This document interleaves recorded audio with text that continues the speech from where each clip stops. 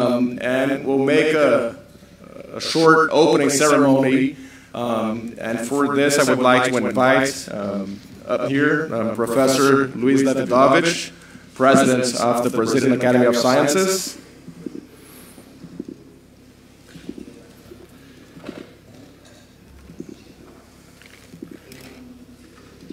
Uh, Professor Volker, President of the of IAP, the Inter-Academy Partnership.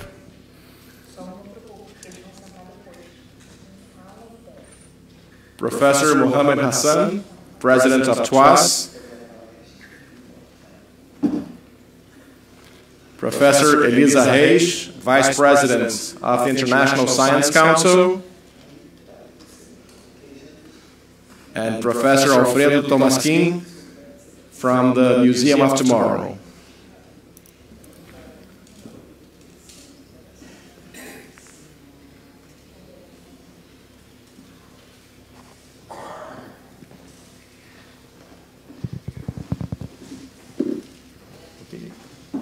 Welcome everybody. Uh, it's, uh, it's a great pleasure to have you here. I would like to thank all our visitors that came from other countries to participate in this conference for coming here. Uh, welcome to, to Rio de Janeiro, welcome to Brazil. I'm quite sure this, this will be a very interesting uh, workshop on a, on a very important problem, which uh, claims for the uh, interaction between several countries, and which is a challenge for academies of science, uh, scientific societies. It is one of the most pressing problems in the world, since uh, it is at the origin of many serious other problems that we have today. So uh, I would like to uh, uh, thank and give a special thank actually to my colleagues who are in this uh, uh, opening session uh, today. Professor Volker ter Meulen, who is the co-chair of IAP, the Inter-Academy Partnership. IAP has been a supporter of this committee on science for, for poverty eradication. Brazil is the chair of this committee, uh, and it's a committee of IAP. Uh, I would like also to uh, acknowledge and to thank the presence of Mohamed Hassan, who is the president of, of TWAS. He's my boss now because I'm Secretary General of TWAS. So, so welcome here. Uh, Elisa Reis, she's the Vice President of the International Science Council, and more than that, she was really the coordinator of this, uh, this meeting. She's a member of the uh, SPEC committee of, uh, of the Brazilian Academy of Sciences. We have another member here, who is Ricardo Paes Barros, uh, who is going to give a, uh, participate in a session with us uh, in, this, in this workshop. Uh, thank also Maurício Tomasquim, this Alfredo Tomasquim, the uh, Maurício is his brother, twin brother. so, yeah. so Alfredo Tomasquim, who is the scientific director of the Museum of Tomorrow and who has uh, uh, made it possible for us to use this fantastic space, uh, which has uh, something in common, I think, with academies of science and scientific unions, because it, looks to tomorrow. It's a museum of tomorrow, and actually, uh, we in our academies and in our scientific societies, we are also looking to tomorrow uh, Uh, and trying to help society uh, to uh, uh, have a better tomorrow. Uh, I would like also to acknowledge the presence here of Lúcia Previato, who is the Vice President of the Brazilian Academy of Science for Rio de Janeiro. so, without further delays, let me just ask now our my colleagues here in the opening session to, to give some words about this event and uh, for the opening of the session. So first, I would like to ask my friend Volker to talk some words about okay. Thank you, Luis. It is my great pleasure to welcome all of you on behalf of IAP, the Inter-Academy Partnership, that you came here to discuss, as Luis has already pointed out, a very important issue. As you may know, IAP, since a number of years, is very much engaged in SDGs, and SDGs also on the basis of poverty and all what is related to it. And this is a project which is supported by the Carnegie Trust in the US. And uh, I hope that probably a number of you are also coming to Seoul in about 10 days, where we will have our science meeting on the SDGs and the academies in relation to what academies can do to these important issues. So I, I consider this an important meeting we have here in Brazil. And uh, I'm looking very much forward that, uh, to, to, all the presentation we have. I thank the president of this academy to have taken the initiative to get us here together. And I hope we will have a very interesting two days with interesting discussions and new information which will help us in our own work. Thank you very much. Thank you very much, Volker. And now I would like to, Mohammed Hassan to, to say some words. Thank you. Thank you very much, uh, Luis. Uh, and by the way, the Secretary General in TWAS is the most influential post uh, because that post controls the programs and the activities and gives reports about, about those. So I don't know whether I am your boss or you are my boss.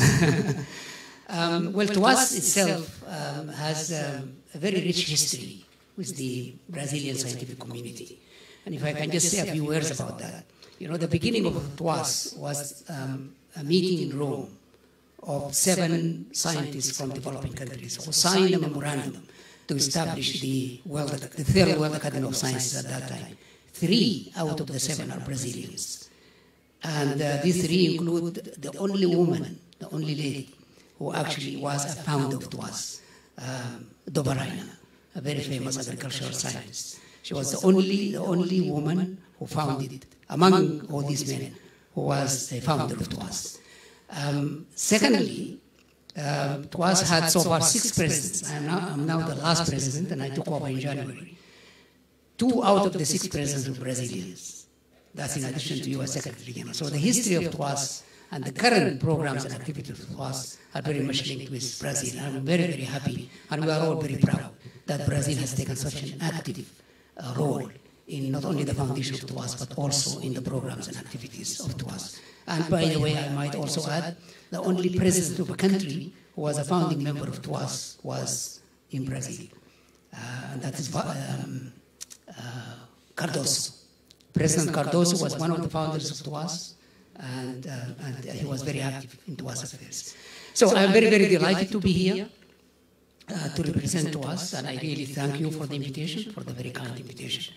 Um, uh, the topic itself, uh, topic of science and technology and innovation for poverty alleviation, is a very important topic for TWAS. In fact, the countries that TWAS is trying to serve mostly are the poorest countries in the world. So most of the programs that TWAS runs, and I will say a few words about, about this day after tomorrow, are really focusing on the poorest countries on this planet. So the links between the topic and what TWAS is doing are very strong. So for that, I also thank you for inviting me to say a few words about that. Thank you very much. Thank you, Mohammed. Uh, you mentioned Joana Doberainer. I consider her a scientific hero of Brazil. Uh, thanks to her, the productivity of soya beans, for instance, was multiplied by at least four uh, and and uh, I think you maybe you, you, you, saw a video which was showing up uh, there. And uh, uh, that's a video on Joana Döbereiner. We are producing a series of two minutes videos for the media. and, and the first one, social media. And, and the first one was on Joana Döbereiner. And the second was on Admiral Álvaro Alberto, who was uh, uh president of the Brazilian Academy of Science and the founder of CNPq. So um, we are going to have a series of videos like that to show the, the great scientists that have done a lot to benefit Brazilian society. So uh, now I'll, I'll like Elisa Reis to say some words. Is it on? Yeah. Okay. Okay, good morning, everybody. My warm welcome to colleagues, dear colleagues from here and from abroad. Uh, also, my warm welcome to the public. It's a great pleasure to be here as Vice President of the International Science Council, because as some of you know, the Council is a new organization that reflects the merger of social science and, should I say, hard science. Uh, I think to, to tackle the SDGs, it's crucial to have this combination of social science and other sciences, because after all, science, the moral meaning of science is to serve society. And to serve society, we do need the conjunction of the two sorts of science. Uh, our president, Dr. Daya Reddy, will be here later in the program, but in his own name and the name of the International Science Council, I want to renew my thanks and to say that I, we really look forward to this, this wonderful opportunity to discuss two of the most pressing issues society faces today. It's also a great pleasure to me to note that uh, we are all intermingled, IAP, IASC, Brazilian Academy to us, because science is actually a community. Much before the world started talking about globalization, we were already a global community of scientists working to better serve society. Thank you very much. Alfredo okay, thanks. Uh, good morning, welcome to all. Uh, first of all, uh, sorry for my poor English. Uh, we are very glad to have this uh, workshop, this seminar here. It's a term, first of all, uh, our partnership with the Brazilian Academy of Science the Museum of Tomorrow, it's very new, and the Academy was one of our first partners, uh, and we have been making many joint and fruitful activities. So for us, it's an, a very honor uh, this kind of uh, collaboration. The Museum of Tomorrow uh, it's a science museum, but not to deal with science concept, but to show to the visitor, using based on science knowledge, what are our scenarios for the future, and to demand from the visitor to think about which kind of tomorrow he, he or she wants to have and what they are ready to do to have this kind of tomorrow. So, uh, uh, to, it's a, a place, a venue to ask people to think about our future as members of the human species, as members of the society, and members of an inhabitants of the Earth planet. and what we should do together. So this theme of the poverty and it's very keen to the to the museum. and I hope we have a very fruitful work here these uh, days. Thank you. Thank you very much. So this is the end of the opening session. Uh, so let's take our play.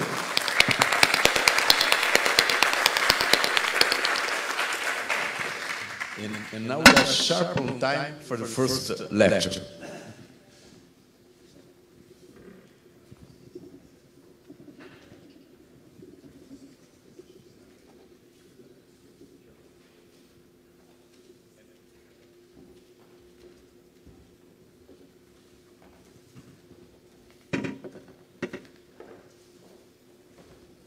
Okay, for um, our first um, key lecture, um, that will be on reflections on poverty, inequality, and science. Um, we have the privilege to have here with us Professor Ismail Serageldin. Um, he's who's the founder and director of the Library of Alexandria.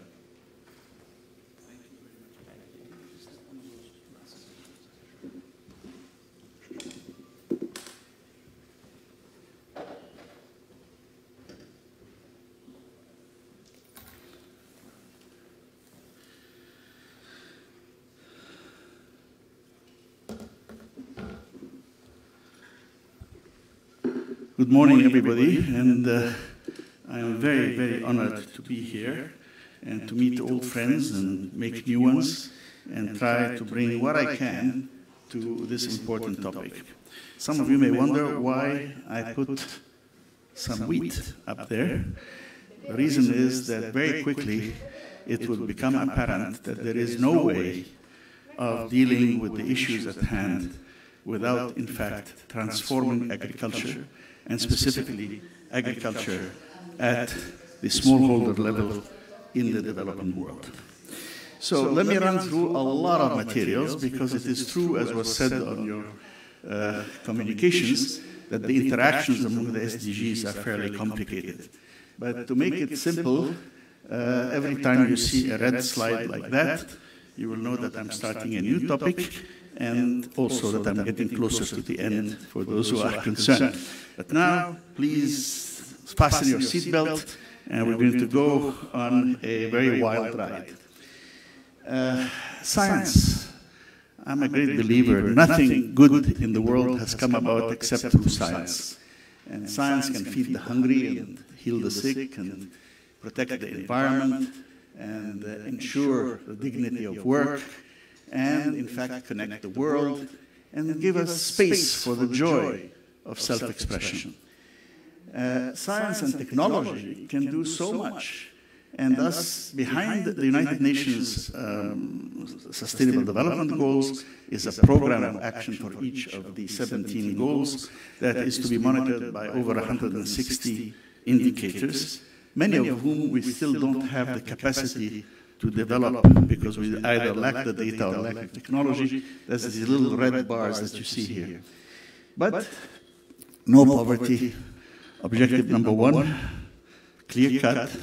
But I have to add objective number two, because hunger is very closely associated with extreme poverty.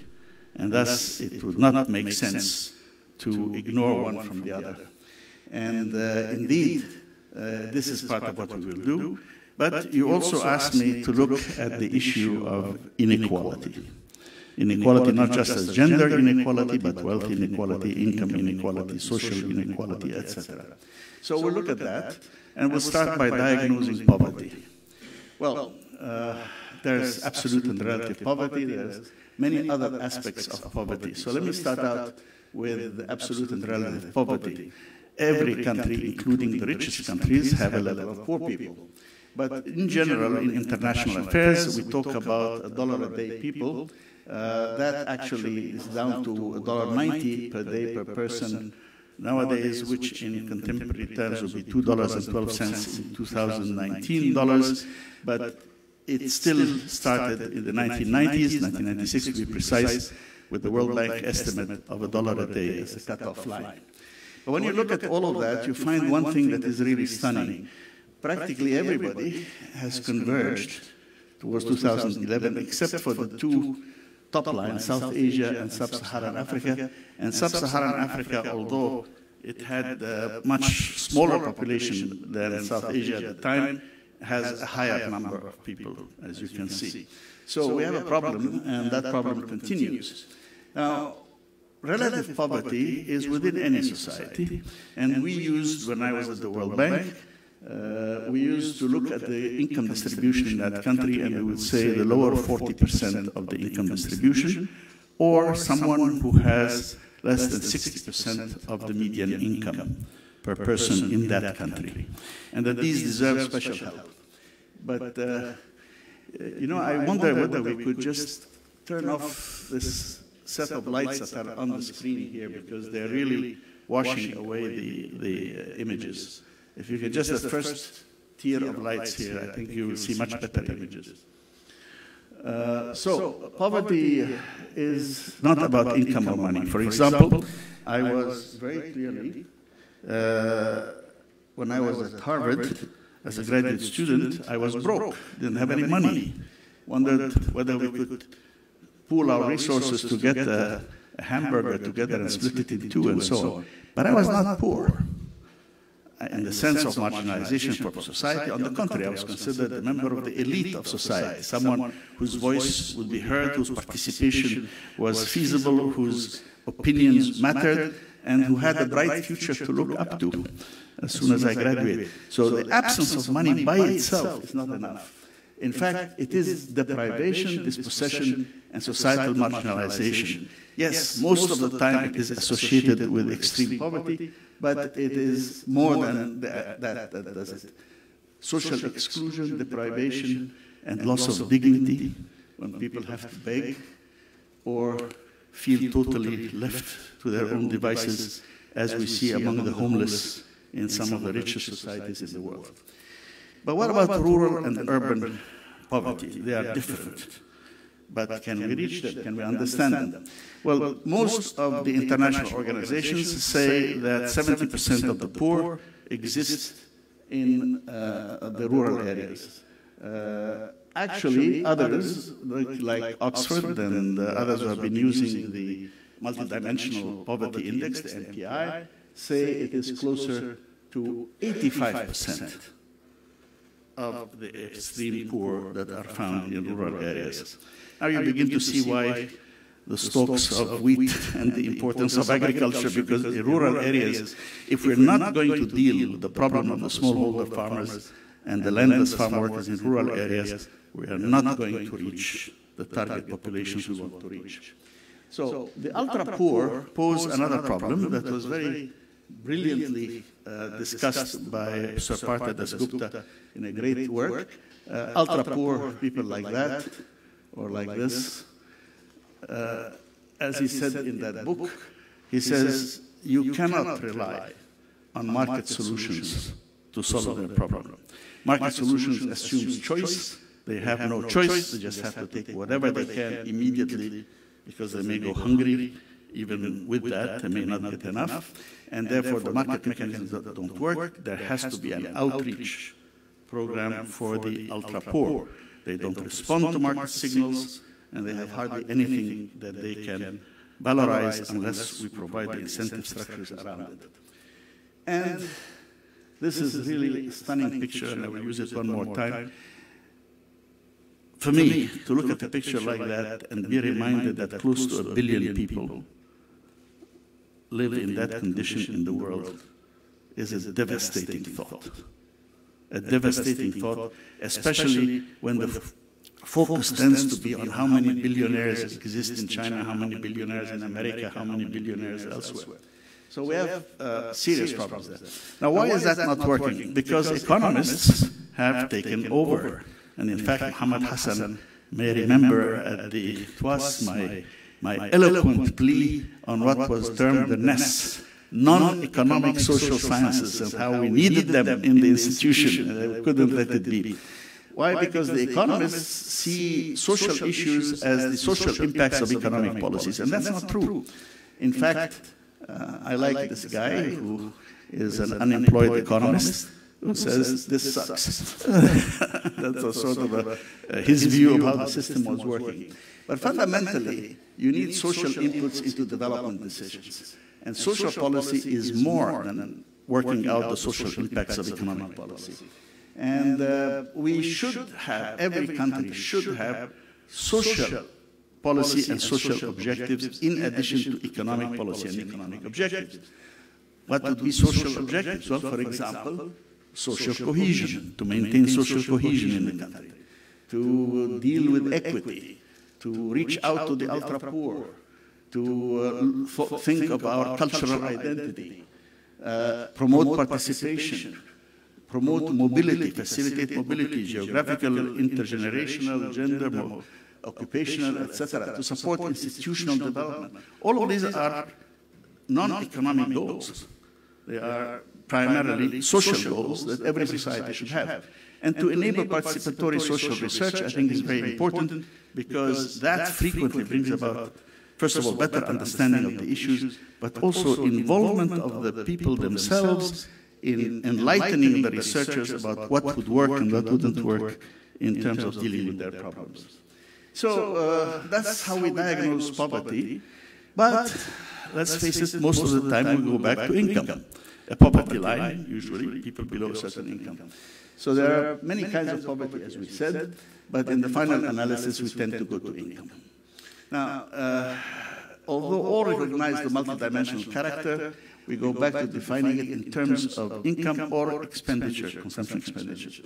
We have much improved by using household surveys, but that's still not enough. And despite our reservations on income, uh, we continue to use GDP per capita as the single most important indicators in practically any discussion around the world.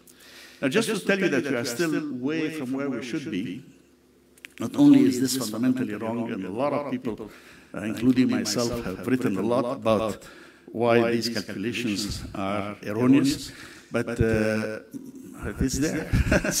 it's been around since the 1930s, and therefore we have a profound problem dealing with it. But there's also a, a, a uh, uh, separate issue related to that. How is it that after all these discussions from the Millennium Development Goals in 2000 to the Sustainable Development Goals in 15 and reaching uh, uh now into 19, so we're already well beyond the 2015, we still don't have an agreed number of how many people are in poverty. We don't have an agreed number of how many people are in extreme poverty, how many people are hungry. I mean, just put it simply, just the volume, the number. There are disagreements 1.4 billion, 1.6 billion, 738 million. All of these are published estimates that I looked up before this presentation and found different agencies using different numbers. So you think we need to do something about that. Now, GDP is different from GNP, and GNP is very important. It's the gross national product that includes cross-border transfers on the monetary side. And that would mean, for example, that uh, you can have uh, changes in quality, quantity, and relative prices uh, in GDP measures, and you can have, for example, uh, a new mining project that is open in the country, so it does generate some jobs, okay, that adds to GDP, but if all the money is going out to a foreign corporation, and what's more, they leave behind environmental problems, and they leave environmental damage, then in fact, the net result of the investment may well turn out to be negative. So we need to have a much better understanding of these kinds of issues. That's, That's the part, part here about GDP versus GNP that I just mentioned right now, resource depletion and the like. But even leaving aside who owns what, just let's look at what it is that we're counting and how we count it. Well, uh, one thing is very hard to capture quality changes and price changes. You all know that GDP is a calculation of production multiplied by prices as a value-added system and uh, until you reach the overall structure of the national economy. So, for example, your mobile phone, the price has gone down, but it can do so much more than the old phone. Uh, the number of units produced where and sold at a particular price is not really measuring the same thing from year to year. Yet we, we use that, but it's not. And uh, that's what the original mobile phones look like. Can anybody remember those? yeah, some of us still, some of us are old enough to remember these. But this is a picture I love. Look at the guy on the right. All that equipment is now part of the mobile phone, smartphone. And we still call it smartphone. We don't call it a combination radio and the viewer and, and, and. So what is it that fits? So that's one example. But there are many other examples. The worst of these is services.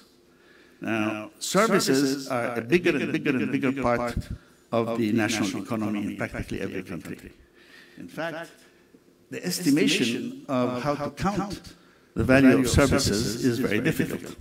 I mean, I don't know whether Charlie Brown feels he's getting his nickel's worth by going to Lucy for psychiatric help, but services are very difficult to estimate. So people say, well, if, I, if this doctor charges uh, $10,000 to do an appendix and that doctor charges $1,000, there's got to be something reputation, greater self-confidence in the, in the, that makes somebody want to pay $10,000 uh, rather than $1,000. So we just assume that this is the correct value for the service being rendered.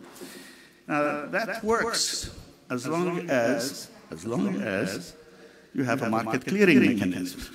In other words, the number of appendices being taken out by a number of doctors that are there, and in the end, people go to the ones they can afford, etc., etc. But what if you don't have, you don't have market clearing mechanisms? Like what? Well, above all, it is the mix between public services, from provision of education, of health, of, uh, of sports, of many other things uh, that are provided by government, including, above all, the most uh, uh, difficult part I will come to is administration. But let's say here, even if you look at something like health, we tend to measure it by inputs, not outputs. In other words, how many hospitals have we built? How many beds? How many doctors? How many nurses? Not how many successful operations there were, how many people have been reached with vaccine and so on. That's not the way we calculate the, the GNP GDP. Now, the reason all this is important because if at the end of the day we come and say there's a line that cuts across here and below that are the poor and above that are the non-poor, then we better know what it is that we are putting the line across. So the biggest problem is really government services. It has grown in the last 50 years from about 20% of total to 45% of total economy. Now, what does the government provide? Provide something. Otherwise, we would not have governments and pay taxes, but it's very, very difficult to say exactly what they do. And if you come from my country, Egypt, you would say, get rid of all the bureaucrats. and the endless red tape and so on, uh, that they are interfering with the economy, maybe, maybe not. Regulation is also needed, we know that. But fundamentally, it is been taken as a consensus that we will use an approximation of the wage bill, with slight minor tweaking. Now that is absurd because if you said that this, you really believe that, then you would double production, double productivity, without training, without equipment, without changing anything in, in uh, the procedures, just by doubling the salaries of the civil servants, which nobody does. So everybody is accepting that kind of proxy measure. And it may have been all right when it was 5, 10% of the total. But hey, we're closer to 45%. So that margin is just huge. And we get to the unremunerated labor, which is one of the biggest, uh, uh, how shall I say this, the biggest uh, mistreatment of women in the world. Most of the unremunerated labor in most economies is women's labor, whether in the fields or in the house. And as a result, uh, that is not counted. And uh, so the story about if a person has, a man has a, a cook, a maid, a babysitter, and a housekeeper, and he pays them all salaries, that's part of GDP. But if he marries one who takes on this task, then all of that drops out of GDP. So his marriage brings down GDP. On the other hand, if he marries a woman who has a career where she works and she hires the housekeeper, the cook, the maid, and the babysitter, then it increases GDP. So you have all these peculiarities that are there that are really great. You have the issue of environment. Believe it or not, a forest standing up counts for zero. If you chop it down, it adds positive contribution to GDP. So why are we still using GDP? Well, because it's there. It started in the 1930s, and it could have gone, uh, Simon Kuznets, Richard Stone, and these guys, and it could have gone either towards well-being or towards production. But when the Second World War came, production was everything the governments were interested in. So the huge boost that came to government statistics during the Second World War really sealed the fate of GDP to becoming a production-based measure and a single measure of flow, not of stocks. So which leads to a lot of peculiarities.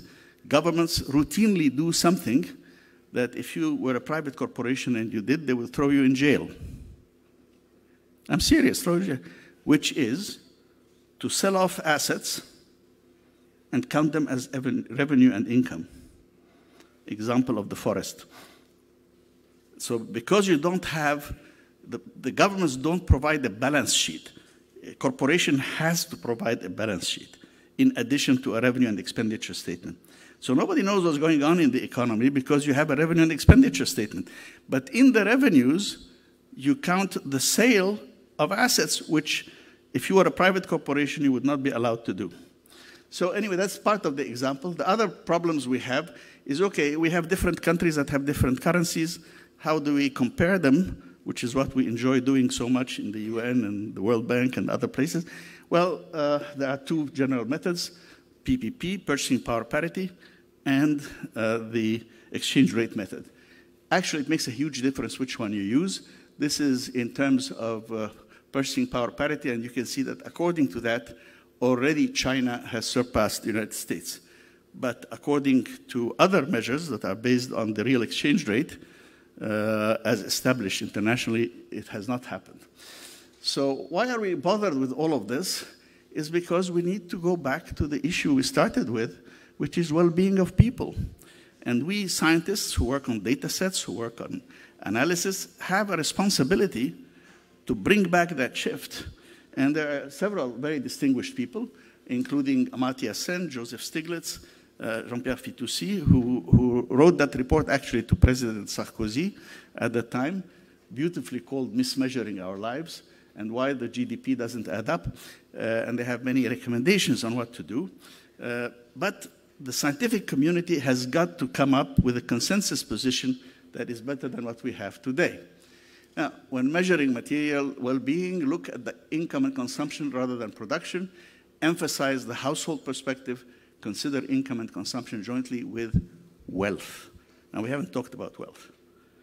And that is because it's a really disgusting story.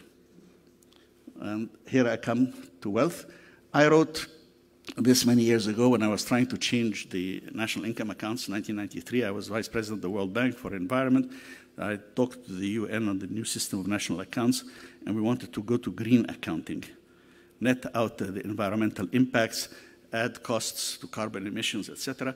We did not succeed, but we succeeded in getting environmental accounts as what they call satellite accounts. In other words, countries can do them or not do them, it doesn't matter. We keep the old system going, and if you want all your new additions, you can do them as a separate thing next to it. Okay, so there are four kinds of capital. And this is very important because it's a new way of defining sustainability. You define sustainability as opportunity. And what is opportunity? It is capital per capita. My son has more capital than I do, then he can have a higher probability of generating uh, uh, both services and income stream than I do. Now, but what kind of capital? Well, this is the produced assets, the conventional one, building roads, buses, etc. This is natural capital, and here we don't just count trees that can be cut down, we count environmental services that come from having these trees, biodiversity, etc. Then there is human capital. Now, human capital is embedded in me. It's education, health, and nutrition, and if I migrate, I take it with me. On the other hand, there is social capital. And that is the glue that holds a society together, that allows a society to legislate, to have a democratic system, not to go to war all the time. And uh, we can, these four kinds of capital, therefore, can grow over time. So I can leave my son a bigger chunk of four kinds of capital. Uh, although the way we're dealing with climate change right now, we may wipe out a good part of that. But that's, and the mix between them will change but you can't drive any of them to zero.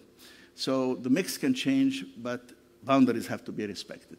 So these are uh, things on our research agenda that we haven't done a good enough job on as scientists, and we really need to look into and see what we do. Now, measuring poverty, there are usually three measures dealing with income, expenditure, or money, which deals with the headcount index, the depth of poverty, and the Foster-Greer-Thorbecke index, or the uh, FGT index. Now, that, the headcount index is the most common one. Everybody uses it. I have 30% of the population is below the poverty line. Um, that's just headcount. And uh, it assumes that I can determine a, poverty line. Having determined it, I can even use it to compare different groups within a population, like this, for example, looking at the United States households from American Indians or blacks or Hispanics or national average or whites, etc. How many, what's the percentage for them that are below the poverty line? But then there is the depth of poverty because the key question, as somebody said, uh, how far below the poverty line are they? I mean, are they just below the poverty line and need a little bit of a push to get them all across? Or they're way down at the bottom? Uh, frequently, when you have, like, for example, in South Africa, you had a bipolar distribution uh, because of the whites and the blacks and the previous history of apartheid, and the distances were very large. And one measure of that, the gap, the poverty gap, is to say how much would I have to transfer from the top group to the bottom group to bring everybody up to the poverty line. Then uh, Jim Foster and Greer and Thorbecke came up with this magnificent index, uh, which is called the FGT index or the P alpha coefficient. What it does have is this little alpha that you see here. And uh, if alpha is set to zero, it collapses into the head count index. If alpha is set at one, it brings you the poverty gap measure. And if alpha equals 2, well, it brings you, if you want statistics, the mean of squared proportionate poverty gaps. What does that mean? It means this. I like to say the first one is the amount, the second one is the depth of poverty, and the third one is the severity of poverty. It is highly correlated with hunger.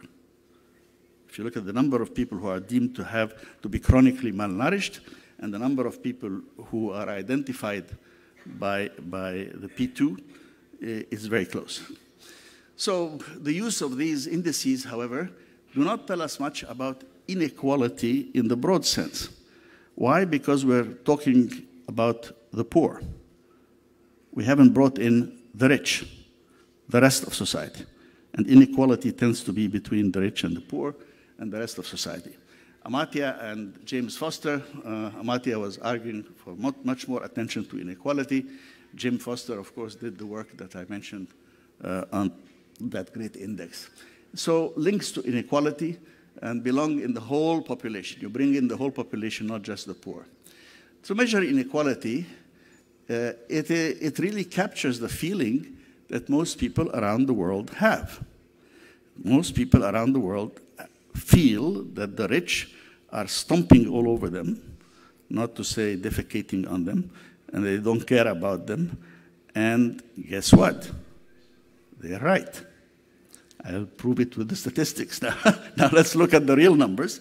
And uh, we find these are the richest country in the world.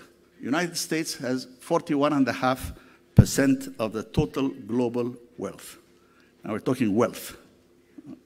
41.5%. And yet, 80% of that belongs to the rich and not to the bottom 50%. And surprisingly, Sweden, which we normally think of as a more egalitarian society, is right up there with the US and the UK. So we have, this is the, the, the, the richest and the most unequal societies everywhere. And in fact, this is a very stunning thing, and it may explain a lot about Mr. Trump's election, is uh, if you look at the, this graph which shows the share of the total income. Now, the, the, the bottom, uh, from the left-hand side, the bottom red is the, the top 1% of society, okay? And the yellow is the bottom 50% of society. 1%, 50% of society. Go back to 1980, which is the, the arrival of Reagan and Thatcher, who started selling us the view that governs best, governs least, uh, let the private sector do it, etc., etc., etc. Then you end up with, in fact, that the bottom 50% decline from 19 point now 20% to 12.5%, while the top 1% more than double. They go from 10 to 20 point something. Uh, people feel that.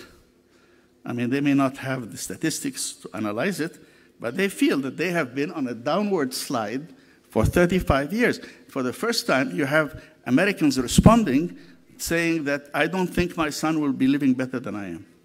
This was a big thing that happened because the American dream, etc., etc. For the first time, you see this. But if you see that analysis, is very clear. They have lost a huge amount. And the top 1% that were kind of identified by the Occupy Wall Street examples have done that. So inequality is really a serious issue, and the enormous gap exists between the rich and the poor. Some don't know how to spend their money, while others can't find any money and are going through garbage for their food. Uh, some live in very fancy homes, some live in very poor homes. And the stunning thing is that over that period, inequality has been rising everywhere, including China. Now, China has raised everybody, a huge amount of people were raised above the poverty line in China, an enormous achievement.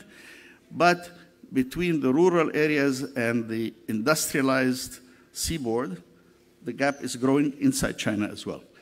But uh, so you can see every country, or, or, almost all of these countries, have now been dealing with increased uh, inequality. So how do we measure inequality?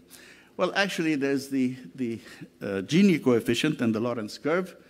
It started in 1905 when Lorenz was doing his PhD at the University of Wisconsin, and uh, he created a curve that would indicate the degree of inequality in a society. A few years later, in 1912, uh, Corrado Gini developed the Gini coefficient, which bears his name to this day. And inequality, according to the Gini scale, is measured between zero, where everybody is equal, and one, where all the country's uh, income is earned or controlled by one person. So this is a likely equation, but the main thing is that it's easily calculated uh, from even unordered size data as the sum of differences, pairwise differences, you can look at that. Now here is the Lorenz curve, on the bottom line, you have the increase in number of households from 0 to 100%. And the red line represents the Lorenz curve, which is the accumulation of how much wealth they have until they reach 100%. And uh, clearly, the blue line is the line of equality. If everybody gets exactly the same, then as you add more, you would go straight through on the 45 degree line. But in fact, you never have that, and therefore you end up with the Lorenz curve. And the Gini coefficient is really the area A divided by A plus B. So you can see that more inequality and so on. And uh, the value of that is that it allows us to look at numbers and compare across countries, regardless of their income level, the degree of inequalities that they have. So uh, you look here, you find, for example, Namibia at 70% and Japan at 25%. So that kind of shows you what societies are like. More importantly, if you track it over time, you can see a trend. This is the United States, where very briefly in the 1960s, you had the war on poverty, you had the Civil Rights Act, you had many things that occurred, you can actually see inequality comes down and then it picks up again and keeps going up and up and up. And you can compare time across countries and so on. And that people found very good. Now, mathematically, I don't know whether you want to spend some time on that, but I'll run very quickly. Uh, it has certain qualities which we value in statistics, uh, mean independence, population size independence, symmetry, and Pigou-Dalton transfer sensitivity, but it does not have decomposability or statistical testability. Although that we can do better now, we have much better data. But fundamentally, uh, decomposability is not there. In other words, if you were to take the Gini for each of the regions in Brazil and uh, you add them up, they don't equal the Gini for all of Brazil. Interestingly enough, the P alpha coefficients uh, do. They, they have the composability as well. Then there are other new things, uh, Theil's entropy, Atkinson's generalized measures, etc. Kakwani and others have worked on other things, but the thoughtful use of multiple indicators will lead to richer and more nuanced policy than simply relying on one indicator such or one number, no matter how good that number is or is not. And the MPI, the Multidimensional Poverty Index, uh, which is used by Oxford, by UNDP, by others, brings together three dimensions of poverty, health, education, and living standards, and 10 indicators that we can use to construct these estimates. And remember, that is the one that showed that the poor were 85%, not 70% in rural areas. So others like IFAD have done a lot of work on understanding the, the uh, poverty and the rural poverty in particular. And it's a very complicated thing because once you have a lot of numbers, then you have difficulty assessing, well, this one is doing better, this one is doing worse. Uh, what are we doing in the aggregate? And if you add them, then you have to ask yourself about weights. And how do you weight them? So there's a technical problem that arises when you start to use multiple things. Item nine of the MPAT is resilience. We'll come back to that in a moment, but let's look at extreme poverty and hunger. Okay.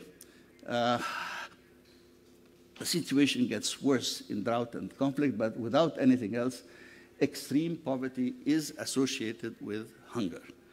Uh, I think Amartya Sen showed that you could have famine even when there, are, there is production in the country because the poorest cannot afford access. And defining that is terrible. And I go by uh, my late boss and friend, later on friend at the time when I was, so he was president of the bank at the time, Bob McNamara, who in 1973 said, it is a condition of deprivation that falls below any rational definition of human decency. Extreme poverty, it should not be accepted by anybody. Now, the UN says we have cut it in half.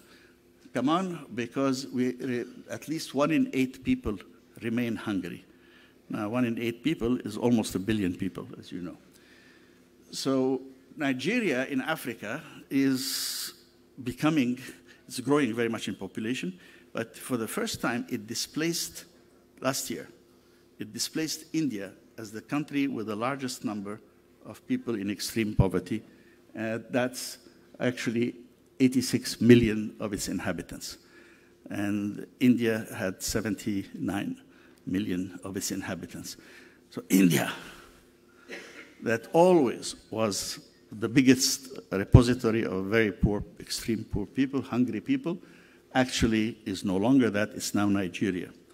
Is stunning because we know the big problems are going to be partly in Asia, but obvious example, India is doing better, but in Africa where things are going to be much worse.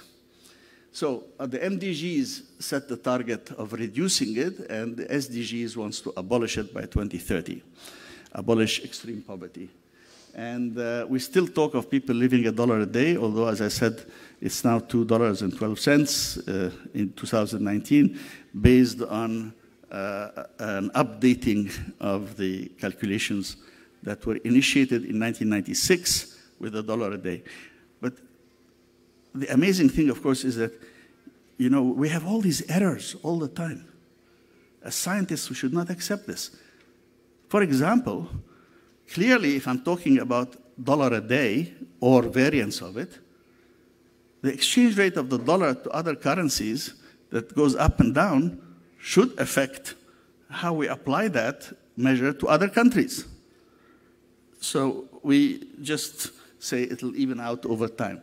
But that's not very good. The conditions, though, you know, it's like uh, the justice of the Supreme Court who had to deal about pornography. And he said, I cannot define it precisely, but I recognize it when I see it. And I think nobody can see pictures like these and say, well, are you sure they are below the 27% line or are they maybe above it? No, I mean, look, this, this is just terrible. Extreme poverty is really a condition beneath any definition of human decency. Just look at that. Look at the dogs and the people sleeping on the pavements, child labor, and hunger. Hundreds of millions. I'm not going to say a billion or a billion more, or more than a billion, just hundreds of millions of people are in that condition. And hunger has to be abolished. There are many, many studies. So, and some of them, in fact, pay good attention to gender dimensions of this. But in the end, it is something beneath any definition of human decency and must be abolished. Now, the sad thing that uh, I have to tell you now is as if that wasn't enough. we're about to face a whole series of shocks. And uh, climate change is coming. You all know about climate change. It's very complicated, many interactions from the atmospheric level to the deep oceans, et cetera, et cetera. And uh, however, variability in rainfall and temperature is expected according to climate models, and hurricanes, floods, and droughts, and heat and forest fires are coming.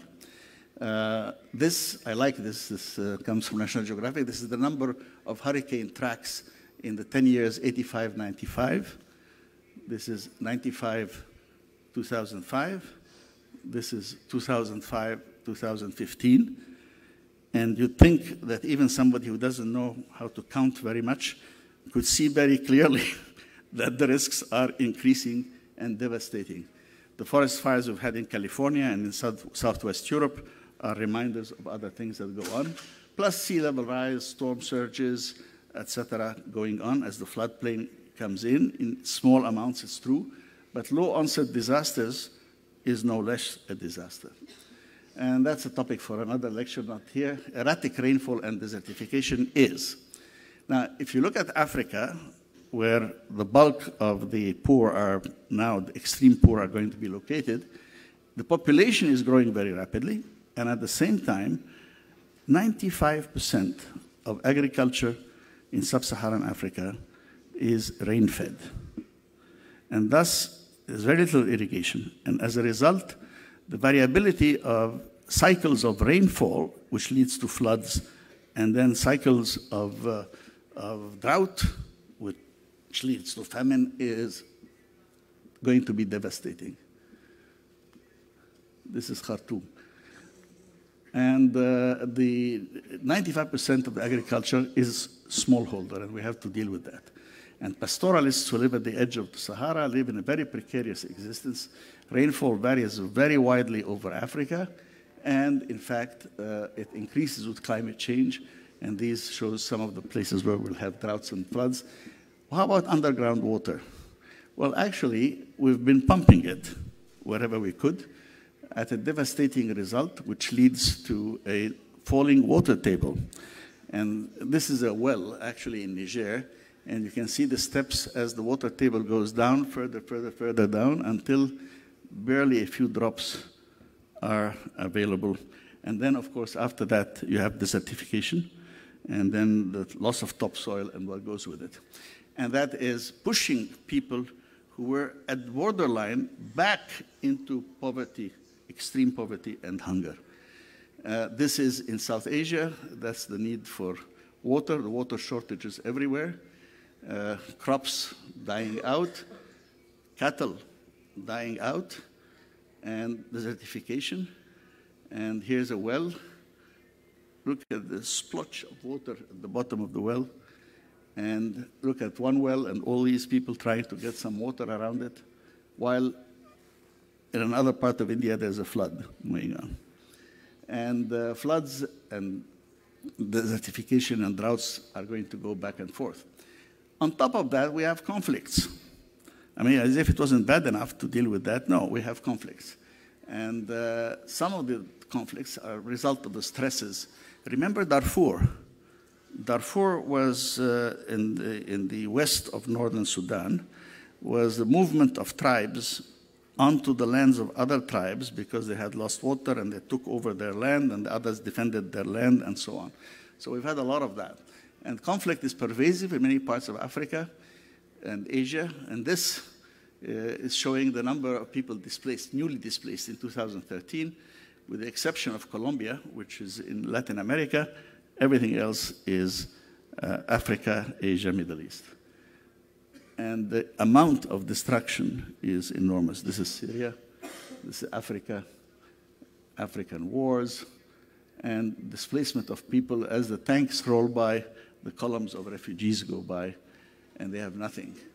65.6 million forcibly displaced worldwide, biggest number since World War II.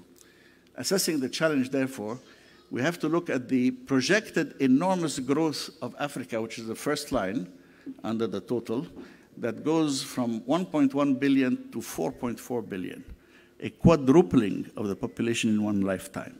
That's amazing. Now, some say, no, this is too large. Their calculations are about a trebling. Okay, well, even to add 2.2 billion, billion human beings to Africa, which has all these problems right now, is a very serious issue. So how do we deal with that?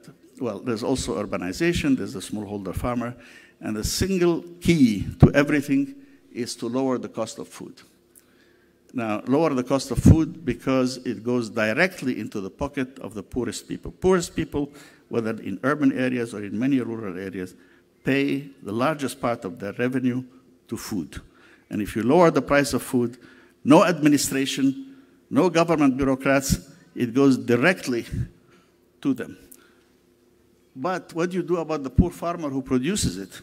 Well, you have to increase the production faster than the price drops.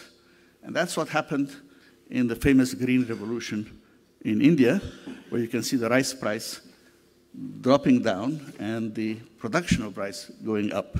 And that's what happened to smallholder farmers, and therefore they get off better and so on.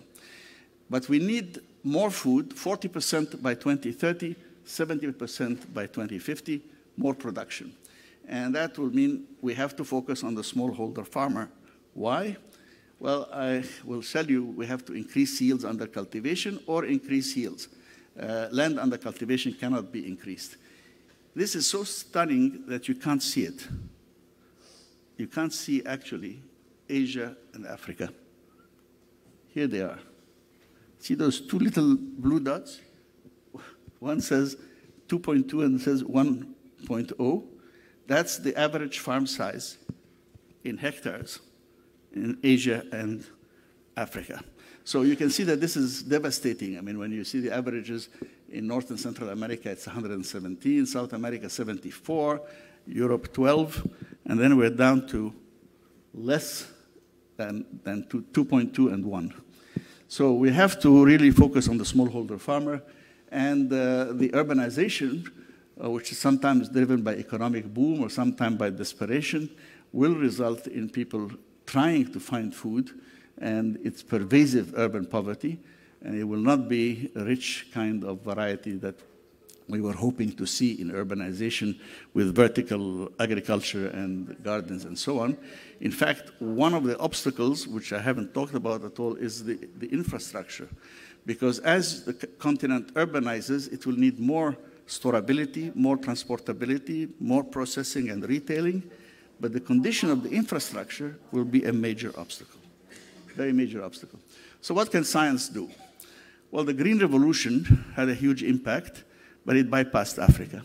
So we need to go jump ahead with more genetically diverse crops, with uh, less use of pesticides, integrated pest management, working with nature, integrated soil, water, and nutrient management, recognizing the gender dimension, promoting alternatives to slash and burn, reduce post-harvest losses between 35 and 60% of uh, production is lost between the farm and the consumer and increase the nutrition of the food that they eat. So to choose priorities, the three priorities that Swaminathan and I agreed on back at the CGIAR days, pro-poor, pro-women, pro-environment. Whatever meets those three criteria, we should do.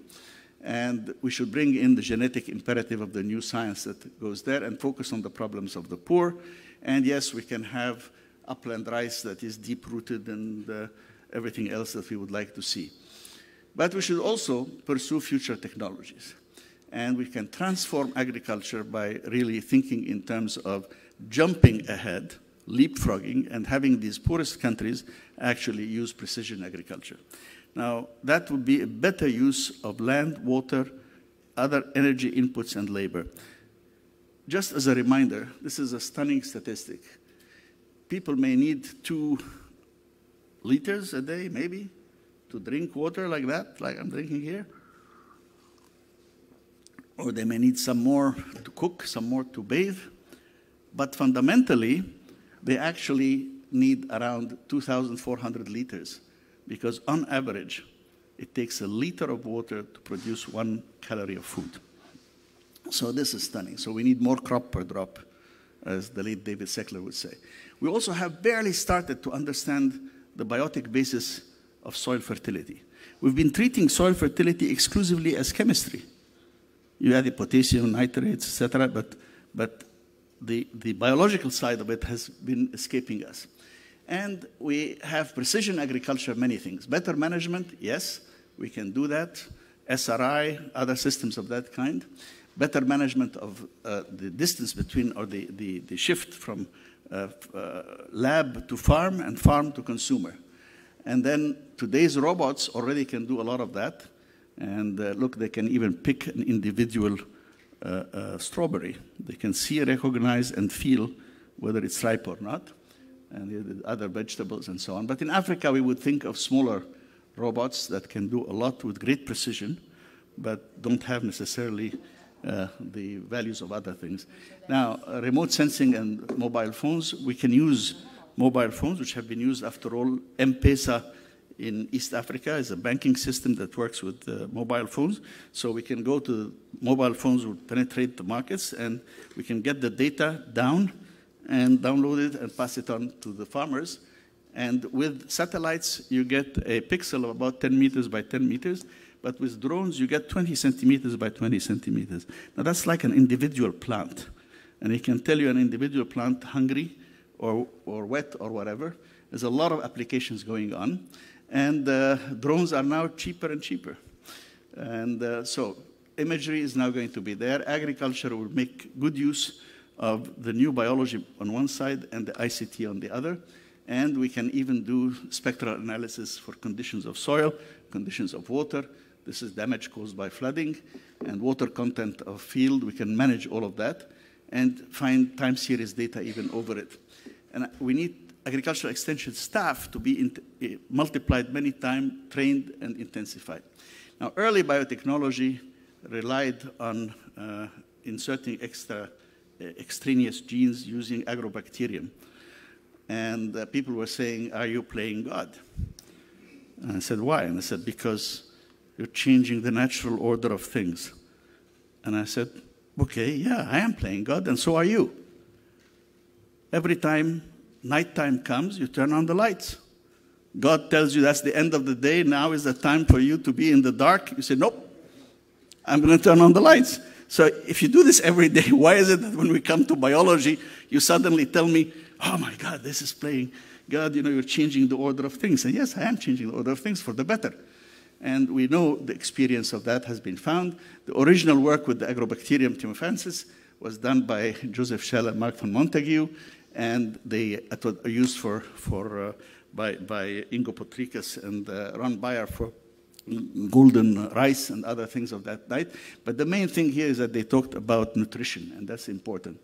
Now, the new genome editing techniques, the famous CRISPRs, CRISPR-Cas9 being most common, but there's CRISPR-12, Cas12, Cas13, etc., uh, are going to be much faster, much cheaper, and will allow us to transform for traits that we need, such as drought tolerance, salt tolerance, shorter growing period, etc., which uh, most of the co co uh, commercial companies do not actually uh, work on. And uh, also on human beings, and I had the great privilege of being part of the committee that drafted this for the National Academy of Sciences and National Academy of Medicine on science, ethics, and governance. And here we did not want people to apply this to human beings, especially not germline, until we know more.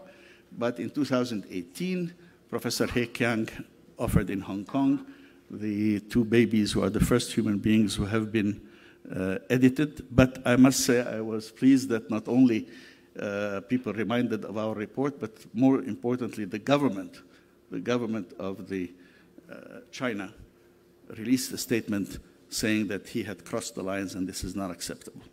So at least we are trying to give some guidance. At the same time, we are on the cusp of many, many new breakthroughs. Now back to agriculture, we can apply this very easily, and the future, therefore, uh, is a combination of biological and ICT technology that will dramatically transform things. Just dream for a moment. Dream lab-produced meat, single-cell proteins, aquaculture, algae-based fuels, uh, new approaches to uh, enriching soil fertility.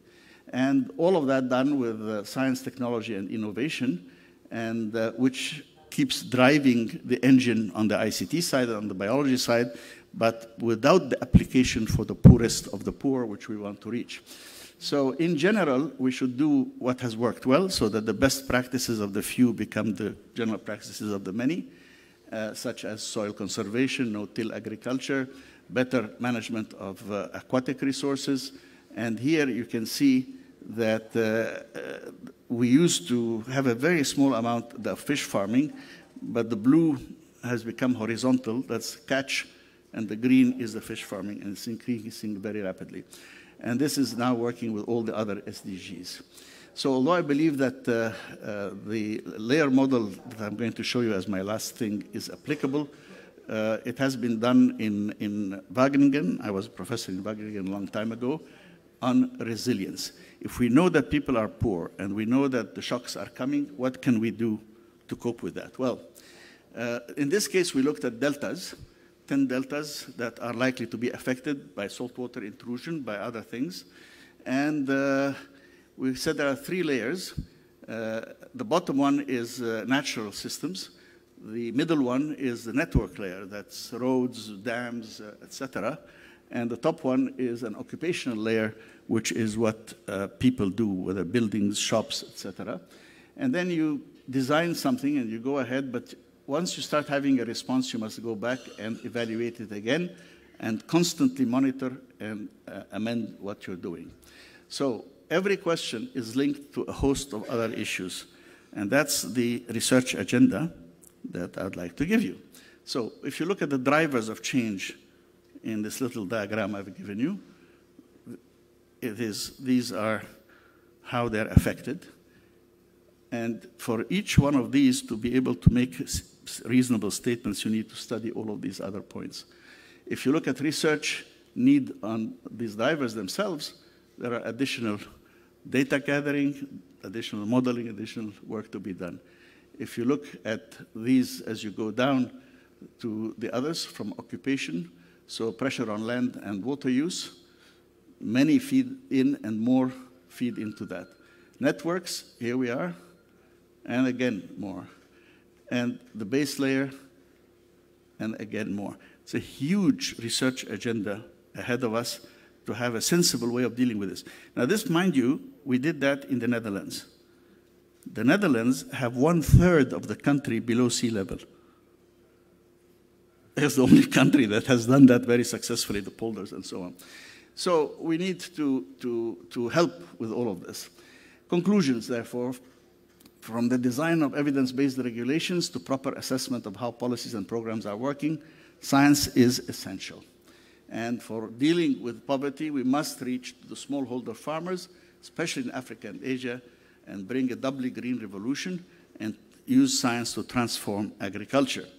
And hence, I will come back now, revisiting past recommendations. Uh, we were just talking with uh, Mademoiselle from the INRA, that uh, I've been saying this for the last 30 years, but it doesn't matter. Uh, now the challenges are grown bigger, but the science has become much more powerful. For what science can do for poverty and inequality is to transform global agriculture because to reach out to the smallholder farmers. My 10 commandments are the same that Muhammad Hassan may remember, uh, which I mentioned in Brazil here like about 10 years ago and they're still the same. First of these, reform policies and markets. Globally, you need fair trade, not tariffs like Mr. Trump is doing, but a fair trade system. And locally, you need to remove the urban bias on education, health against the rural areas.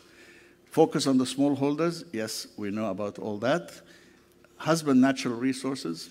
Yes, we know all about that.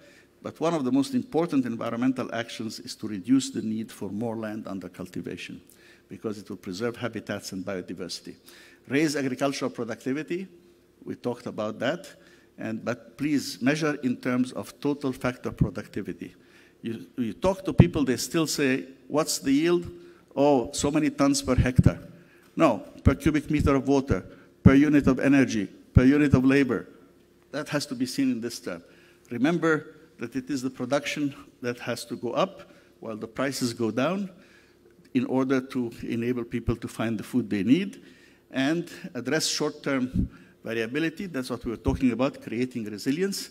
And here's something that we talked about also, which was to improve the nutritional content because it doesn't appear that much.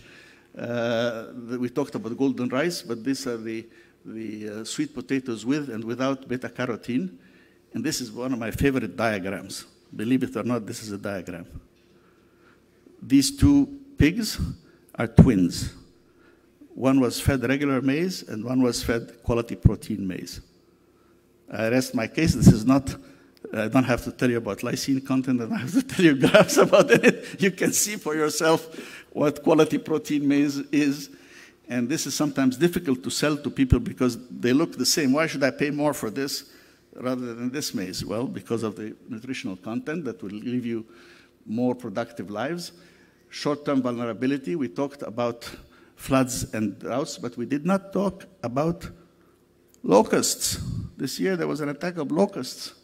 That's another devastating problem for people.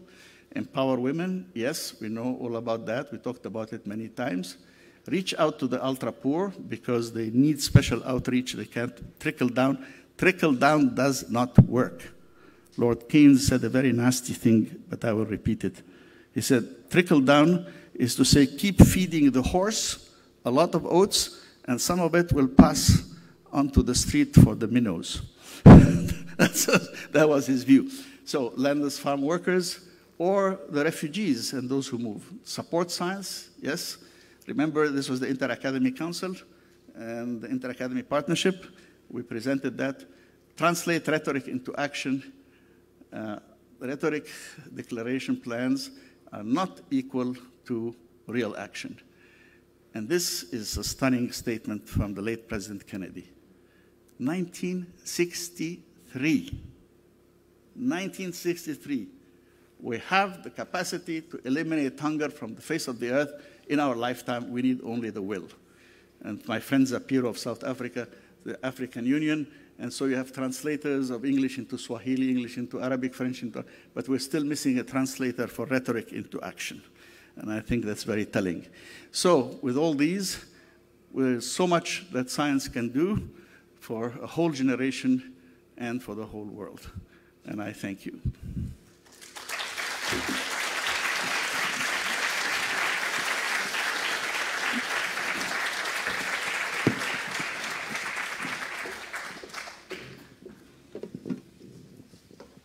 Thank you, Ismail, for a very exciting talk. In fact, uh, you know, we are always worried about having an agenda concerning the topic of this conference, the theme of this conference, and you are, you are offering us a very nice agenda and showing what science can do for poverty. Uh, I'm quite sure that many people would like to have questions and discussions, but uh, uh I think we will have time during this uh, uh, conference to go back to these points and ask questions and make comments. So uh, I propose that we go to the next session. Uh, I just want to raise, you know, some question to, to think about, maybe, uh, but we can discuss about this later. It's quite evident that science can do good things for poverty. Now, does this, will these technological developments help to decrease inequality or to increase it? Because of the different access to the uh, technological developments. I think it's a big question for all of us. indeed, indeed. Okay, so thank you very much, uh, Professor.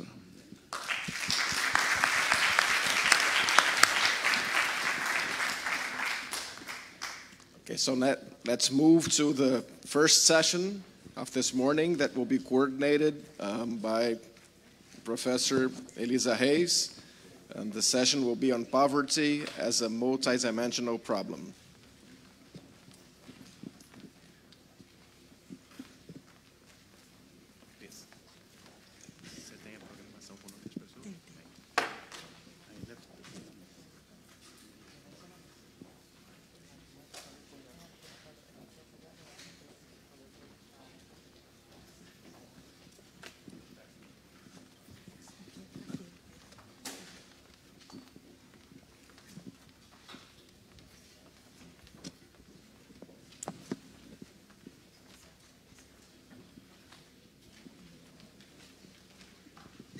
Okay. I call the participants of that section.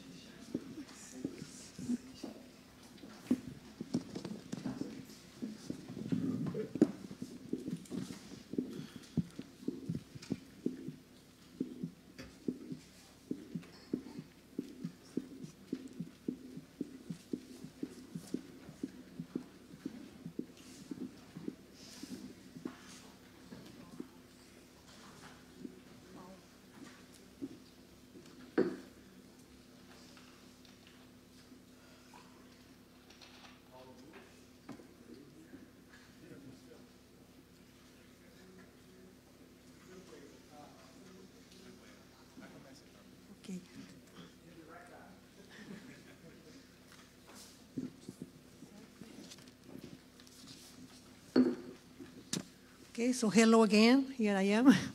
well, this section is about to restore the gender balance from the previous one. But we have a third, part, fourth participant who will be here very soon. Okay, it's a great pleasure to start this section, especially because the keynote speaker gave us a fantastic illustration of the multidimensionality of poverty, which is the title of this, this section. Yes, poverty is a very complicated issue. It involves a lot of things. That's why we need the collaboration of all the sciences. And we finally, I mean, I think we are getting closer and closer to the, to the realis realization that transdisciplinarity is absolutely necessary. I mean, the way to put science and technology to serve society is actually to make science talk among themselves. But of course, that's not all as our keynote speaker noticed, we need action. For action, we need very good interaction between science and policymakers. And for action, we also need very good dialogue between science and society at large. I mean, that's the three key components, science, policy, and action. Uh, I won't take to too much time because I want to give the speakers a lot of, a lot of time. Uh, I, we will have the three presentations, 20 minutes each, followed by open discussion. Following the order in the program, Maria Emma Santos from the CONICET and from the Oxford Poverty Human Development Initiative will start, followed by Paulo Buss from the, from the Oswaldo Cruz Foundation, director of the Center for Global Health. And finally, we have Allison Loconto from the Institute of National, National Institute of Agronomic Research. Uh, it's very happy that we start with Emma, who will talk about the multidimensionality in itself. And then we focus on two of the many dimensions of poverty, health and uh, food. With that, I give the floor to Maria Emma Santos.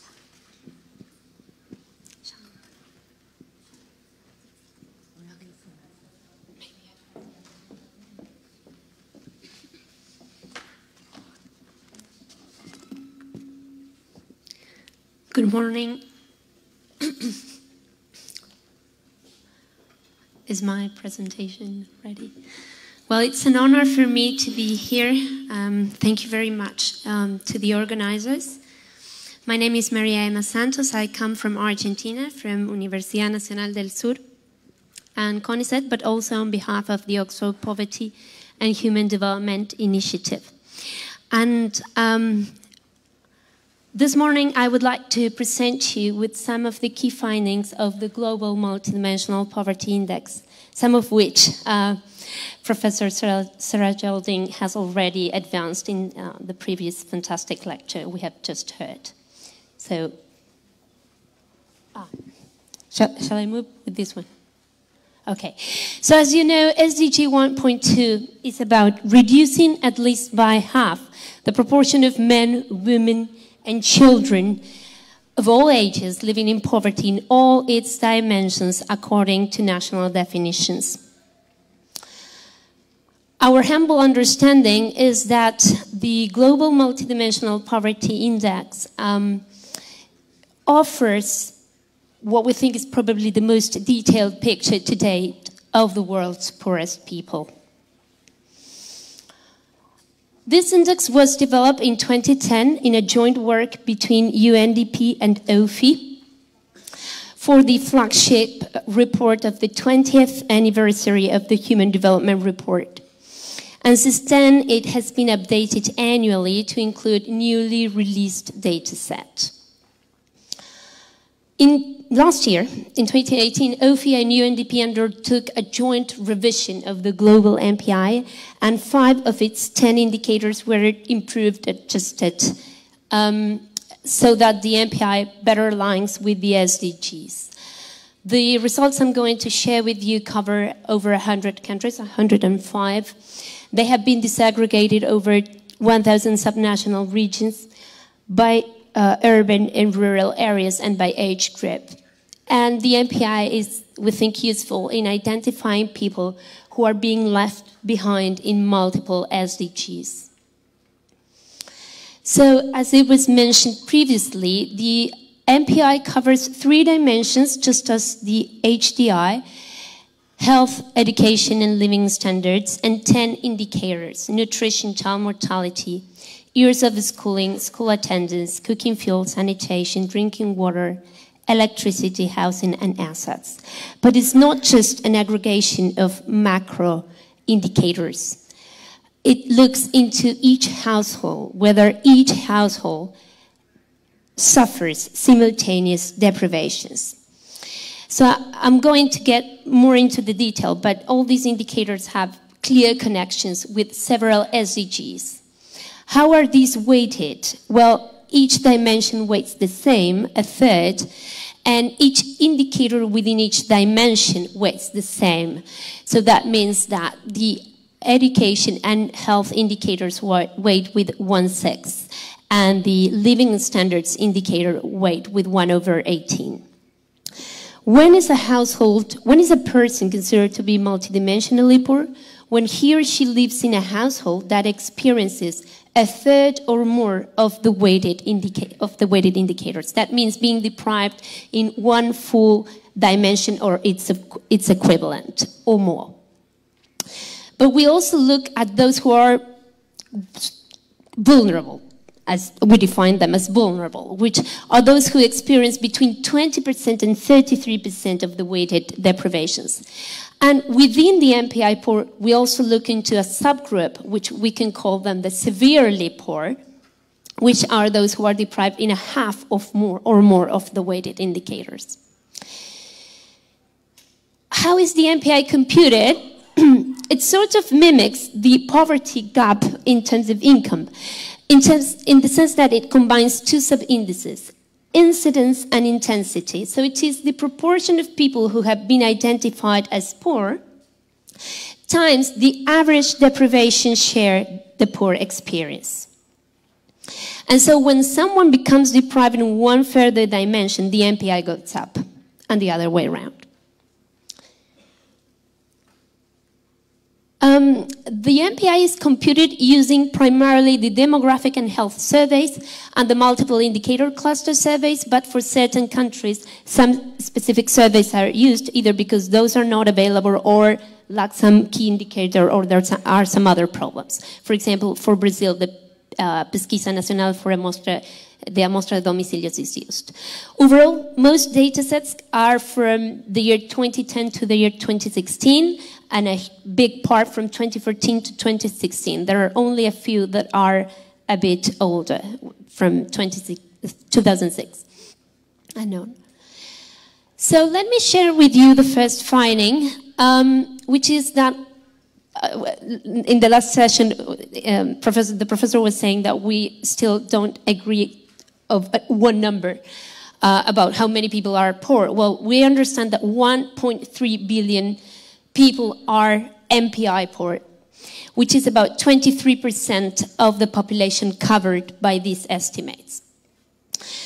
And 46% of that 1.3 billion people, people are in severe poverty, meaning that they experience 50% or more of these weighted deprivations. This table shows how are they poor. So these are people who have been identified as multiply deprived, deprived in a third or more. And those percentages are the percentages of the MPI poor who experience, who live in households that experience this deprivation. So we see that 91% of the MPI poor cook with wood, dung, charcoal, or coal with the health risk that we know that entails inhaling indoor polluted air. 80% live in a house with a dirt floor or walls or roof made of rudimentary materials. Again, that is no safe home for climatic conditions for violence. About the same percentage, four in five do not have an adequately um, hygienic toilet according to SDGs guidelines, or this is shared, it's a shared toilet. 62% uh, live in a household where someone, at least someone up to 70 years of age, is nutritionally deprived. Um, we include stunting, we include underweight for children up to five, and then BMI for age, and then for adults, BMI. So for those households, just mere survival is not guaranteed, and we know this is particularly worrying for children because it shapes their future life chances. 56% of the MPI poor and one in 10 uh, persons in the world um, cannot light a bulb or a fan or a heater. And we are not talking about quality surveys, power cuts, and that sort of more refined measurement. Half of the MPI poor live in a household where no one has completed six years of schooling. And we know what an obstacle that is to building social networks, finding a decent job, understanding forms, filling forms, surfing into the internet, and so on. 45% of the MPI poor don't have um, access to safe drinking water, so they are exposed to born-borne diseases and infections. 44% don't have basic assets. We are talking about having at least two of radio, TV, um, refrigerator, motorbike, bicycle, computer, or animal cart, or a car or truck. Those assets help, I mean, enhance well-being, but also, um, in many cases, they allow economic activity and can also act as an insurance against shocks. And then 37% of the MP, MPI poor live in a household where at least a child is not attending school, so the MDG of universal primary education is not yet achieved. Uh, and the lowest number is child mortality, which means that 13% um, of the MPI poor live in a household where at least, uh, uh, at least a child has died in the five years preceding the survey. Still, given the tragedy that child mortality is, it's still quite an appalling statistic. So where do the MPI poor live? Well, surprisingly, two-thirds live in middle-income countries. So, as we were saying, uh, as, as, the professor was saying in the previous lecture, a high or an acceptable GNI per capita does not guarantee not being in multidimensional poverty. Of course, still, low-income countries have higher shares of uh, MPI poor, but, but uh, this is still an, uh, an important result. Where do the MPI poor live? Well, most of them, 83%, live in South Asia and Sub-Saharan Africa. Latin America is only home to 3% of the MPI poor. Uh, but those are 40 million. 40 million people in Latin America are MPI poor. This graph plots the two sub-indices of the MPI incidence, the green one and the pink one is intensity of poverty. So it's sub-Saharan Africa, South Asia, Arab states, and then come Latin America with 8% of the population in MPI poverty. But it's interesting to note that intensity is still quite high. So among those who are MPI poor, they are poor in many things at the same time. Where in Latin America do they live? Well, Brazil and Mexico, naturally, because they are the bigger, biggest countries, um, are home to important fractions of the MPI poor, but Haiti, which is a small country, is also home to a significant fraction of the MPI poor. Guatemala, Peru, Colombia, Bolivia, Honduras, Nicaragua. In South Asia, it's India, Pakistan, Bangladesh. In Africa, is Nigeria, Democratic Republic of Congo, Ethiopia, Tanzania.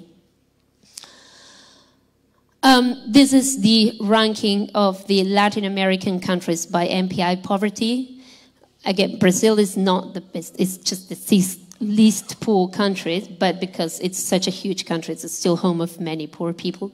Haiti is the poorest, and by far it's almost an outlier in the region. Um, as we were seeing in the previous lecture, 85% of the MPI poor live in rural areas. And that points to a starkest inequality between urban and rural areas, which is particularly pronounced in Latin America. Only 25% of the population in Latin America live in rural areas, and yet 68% of the MPI poor live in rural areas in Latin America. So it's one of the, it's the region with the biggest disparity in terms of uh, geographic distribution. Another specificity of the case of Latin America is that although we do not have such a important fraction of people in severe multidimensional poverty, we do have a similar amount of people in um, multidimensional poverty who are vulnerable. So 40 million people are MPI poor and 40 million people are vulnerable to MPI poverty. They experience 20 to 33% uh, of um, weighted deprivations and 2% are in severe poverty. In other regions, such as South Asia and Sub Saharan Africa, the proportion of people in severe poverty is much higher. And the other important finding is that half of the MPI poor are children.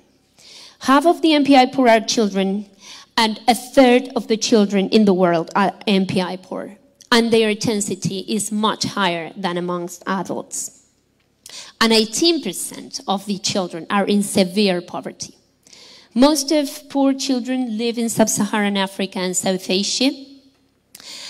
But it, again, 62% um, of the poor children still live in middle-income countries. A good news, however, is that India, which is a country that has lifted over 200 million people out of multidimensional poverty, the youngest group, the, the, the children, has been the group that, um, uh, that has improved the most. And also the poorest states have improved the most. So that is a message of hope.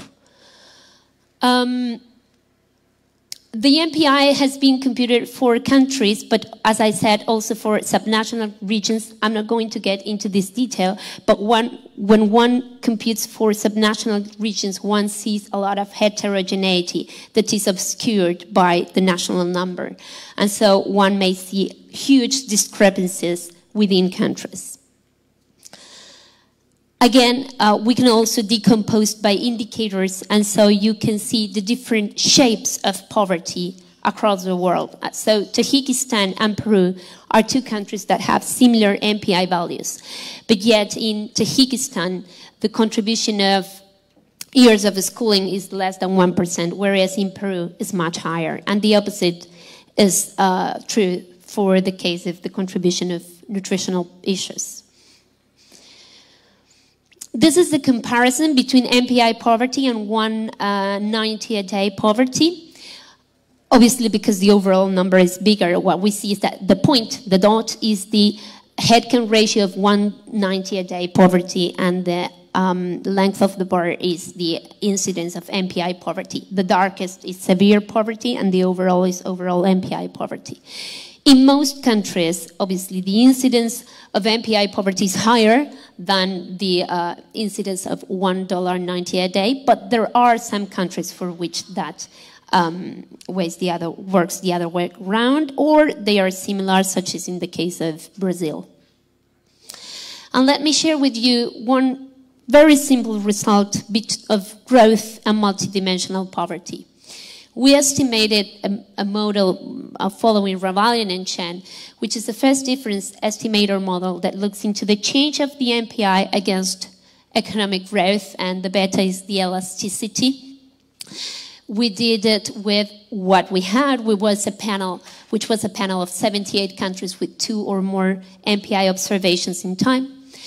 And what we found was a very small elasticity of 0.56. So a 1% increase in the average growth rate leads only to a reduction of 0.56% in the MPI. It's a bit higher for incidence of multidimensional poverty. Recall that MPI is incidence adjusted by intensity. And it is a bit higher for income poverty. Well, it's quite higher for income poverty, I must say. But that just tells us again, that the trickle down theory doesn't work and that growth does not reach to non monetary uh, deprivations. Um, just a quick example Colombia has uh, built um, uh, a national MPI because obviously the global MPI, as any global poverty measure, is limited. Um, it, it, lacks some indicators. It, it could be more comprehensive. It, makes, it only measures acute poverty, not moderate poverty. So countries may want to look into their own relevant measures. And Colombia has used its MPI for a lot of things um, related to policy not only to monitor poverty and quantify, but also to encourage institutional coordination across the different ministries, um, to track behavior of different poverty dimensions, to prioritize certain municipalities and certain interventions, and so on. And let me share with you uh, recommendation 19 of the Atkinson report in 2016, uh, commission led by Tony Atkinson, and, uh, and which was formed by a, a big uh, group of important scholars, experts in poverty. Um, they produced a fascinating report with a lot of recommendations. Half or more than half of it is devoted to the measurement of income and consumption poverty, and the other is devoted to the complementary indicators. And recommendation 19 is that amongst the complementary indicators, there should be a multidimensional, a multidimensional poverty indicator based on the counting approach using this uh, methodology. They also suggested a number of dimensions to consider, six of them nutrition, health status, education, housing conditions, access to work, and personal security, of which the MPI covers four. The other two cannot be covered in uh, an index with this country coverage because simply data is not, is not good or is not available. Um, so at the moment, I, I, would say that two important, um, some of the global poverty measures are the $1.90 a day and the global MPI, and they are complementary. Both provide very useful information. Um, last year, the World Bank report on poverty and shared prosperity included uh, an index, a multidimensional poverty measure, in an attempt to extend the $1.90 a day to have a broader perspective. Uh, but just, I thought it was important to clarify that because they included income in the indicator and they had to use for that uh, LSMS kind of surveys, they were unable to include the health dimension, nutrition and child mortality, and they didn't include cooking fuel and housing and assets. So it is a multidimensional measure, but it's more restricted. And not surprisingly, they find a lower um, proportion of people in multidimensional poverty as the health dimension is missing. Um, and so all in all, they are covering three-ish of the dimensions suggested by the, by the Atkinson report. Um, but just to conclude, we have lots of challenges ahead. I think I don't need to clarify that. There are still many data challenges in terms of advance on further international consensus on minimum standards for certain indicators, say materials of roof and walls. Still, there is still a lot of empty places, overcrowding, many indicators still um, need uh, more consensus. Collect harmonized data, even on water and sanitation, there are huge, uh, sometimes it becomes really complicated to harmonize the data. Um, and then a, a key a question is whether one day would it be possible to have in an integrated survey information on nutrition and health good quality information and good quality information on consumption or income at least. But probably bigger than those challenges are the policy challenges, uh, which, uh, as I was um, just showing with one small number, growth does not guarantee reduction of multidimensional poverty. We need to look for which are the kinds of proper growth and certainly accompany, accompany that by very specific and interconnected policies that try to address the different dimensions in an interlinked way. Well, that's all for, from my side. Thank you very much.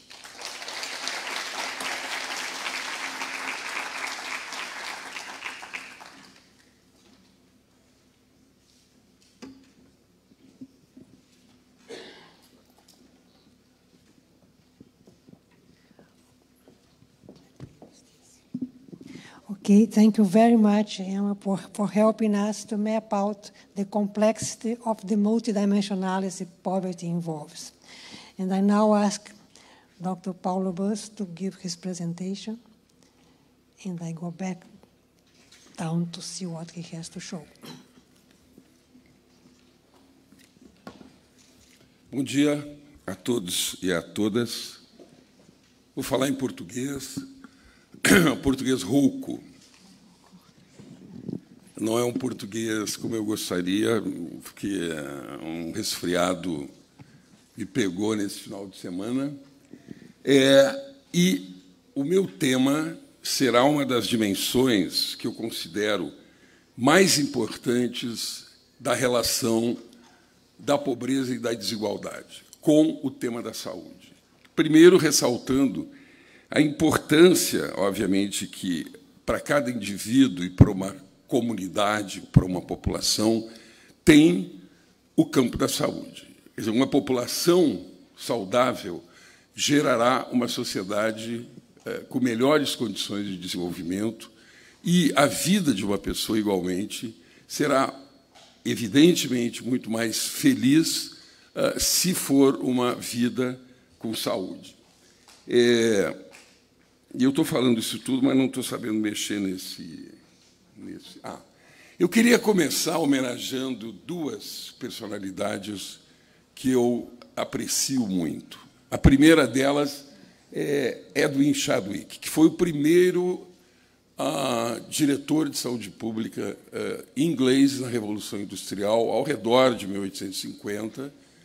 E Chadwick, uh, sinteticamente, no seu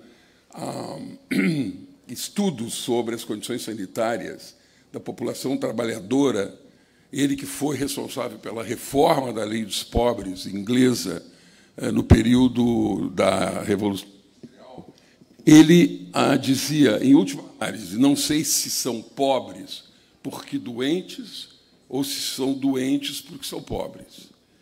E essa questão ela está presente até hoje. O quanto a pobreza gera más condições de saúde e, ao mesmo tempo, más condições de saúde necessariamente vão uh, tornar vão, vão digamos, é, proporcionar populações e indivíduos, famílias mais pobres. E a outra frase que é do brasileiro Caetano Veloso, que diz: gente é para brilhar, não para morrer de fome. Então, essas duas frases ditas uh, muitos anos. Uh, epa, não, eu já estou fazendo tudo errado aqui. Eu tenho que voltar e está indo, não sei como é que eu vou fazer. Ah, não, o que, que é isso? Para que lado vai isso aqui? Deixa eu ver. E eu já apresentei quase tudo, né? Quem é que me ajuda aqui? É, é, tem um. Eu tenho que apertar. Para trás eu quero ir. Ah, isso aí está indo para trás, está indo para trás. É. é nesse debate de baixo. Então vamos ver.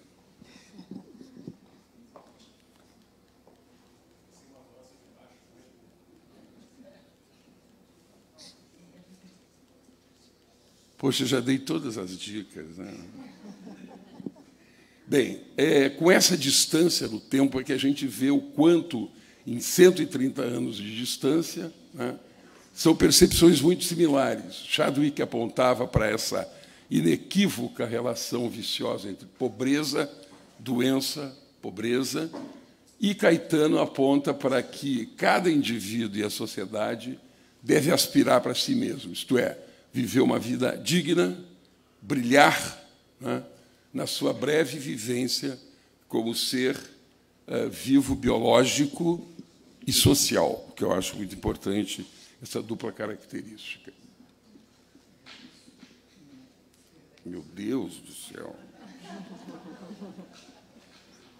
Ah, o que eu vou trabalhar, dar dados para vocês, é de uma comissão pan-americana ou uma comissão continental sobre é, equidade e desigualdade no campo da saúde, organizada pela Organização Pan-Americana da Saúde, e que eu fiz parte com muito orgulho desse grupo, no qual, em última análise, nós procuramos demonstrar que, um que a questão da pobreza e a questão da desigualdade e da má saúde são questões estruturais, não são questões casuais, não são questões naturais. Na realidade, são questões que têm a ver com a estrutura social, ou seja, o modelo de desenvolvimento capitalista que nós vivemos, ele gera uma sociedade inequitativa, ele gera exclusão social e ele é ecoagressivo. Essas três características são parte integrante do modelo de desenvolvimento capitalista que nós vivemos hoje. E com inúmeras críticas, sejam de forças de esquerda, sejam mesmo daqueles que pretendem reformar o capitalismo. Ou seja, nós temos uma crítica hoje ao desenvolvimento capitalista que vem de dentro do próprio sistema, assim como seria esperado que vem, ah, evidentemente, eh, das forças progressistas. É, primeiro, eu queria fazer uma caracterização global, quer dizer, nós vivemos uma crise sistêmica e global que se inicia em 2007 e 2008, no circuito central da economia globalizada, quer dizer, nos Estados Unidos e nos países da Europa, e que crise essa que vem se aprofundando desde então, indiscutivelmente, quer dizer, as economias estão uh, permanentemente, uh, avançam lentamente e retornam à crise. É? Ou seja, uma crise de bancos privados levou a uma crise das dívidas soberanas dos Estados, ou seja, a privatização dos lucros quando nós tínhamos uma economia saudável, dando lucro, e socializa-se os prejuízos no momento em que ah, os recursos financeiros se tornam escassos, devido exatamente pelo jogo comercial, pelo jogo eh, pela, pela grande jogatina do capital financeiro uh, internacional. Disso reduz, redundam políticas recessivas, redução de investimentos públicos e de orçamentos sociais, inclusive da saúde, e uh, nós temos isso resumido num livro que eu considero seminal sobre esse tema, que chama-se Austeridade Mata, ou Porquê a Austeridade Mata, do Stuckler, David Stuckler, um sociólogo ou geógrafo inglês, mostrando exatamente que a reação à crise gerou uma série de políticas que vem gerando mais e mais problemas de natureza social, inclusive de saúde, que é o foco do livro dele. Uh, com essa crise, nós temos um aumento das desigualdades uh, pré-existentes, aquilo que Stiglitz, em 2011, chamava os malefícios do processo de globalização, que se a globalização é positiva, ela também é muito negativa, e Stiglitz não perdeu essa noção, apesar de ter sido economista-chefe do Banco Mundial, mas um prêmio Nobel que tem uma clareza muito grande sobre essas dimensões da economia política internacional. É uma crise de múltiplas dimensões. Esse impacto da crise global se abate sobre todos os países, embora de formas diferentes. Né? E a desigualdade socioeconômica mundial e entre os países é uma desigualdade crescente. Né? Eh, nós temos uma concentração inédita da renda, muito bem demonstrada, muito bem mostrada pelo Thomas Piketty no seu Capital no século XXI, já traduzido, inclusive, para o português. Além dessa concentração inédita da renda, nós temos uma amplificação da pobreza e do desemprego. O jornal O Globo de hoje mostra uma fila em zigue-zague em São Paulo, de quase 15 mil pessoas procurando emprego, num país que tem 12,9% da população, principalmente jovem, desempregada.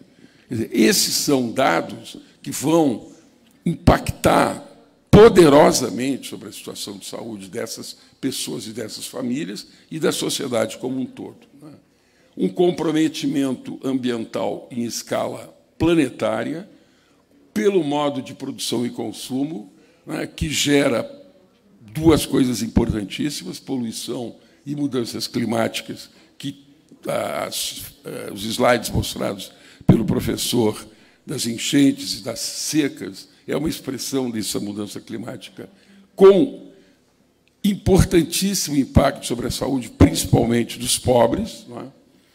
E as consequências são profundas sobre países de renda baixa e estados frágeis, principalmente, inclusive América Latina, e profundas consequências sobre saúde e os sistemas de saúde. Queria começar mostrando aqui algumas, alguns dados, e vou tomar a América Latina e não o Brasil ou o mundo, apenas porque nos situamos e, e o nosso estudo, nesse momento, vem se concentrando na região da América Latina.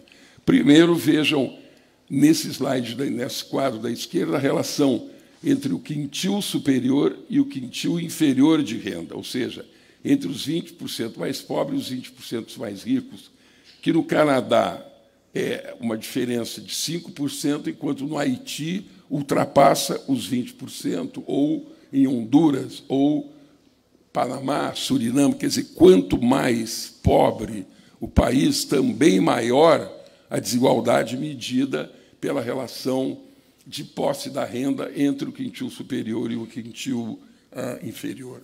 Do outro lado, já mostrando relações com a saúde, a percentagem de crianças com retardo de crescimento por quintil de riqueza. Vários países à esquerda, e, se vocês observarem o gráfico, é uniforme. Quanto mais, é, quanto mais é, pobre, no quintil mais pobre, nós vamos ter o maior retardo de crescimento. E o retardo de crescimento é muito importante em saúde, mais importante que peso em crianças menores de 5 anos, porque ele significa um efeito mais de mais longo prazo da desnutrição. Né? Então, isso mostra essa, esse padrão de quanto mais pobre, mais retardo de crescimento, no quintil mais dos 20% mais pobre, e, obviamente, é, isso é uma gradação pelos cinco quintis que compõem a, se distribui a população.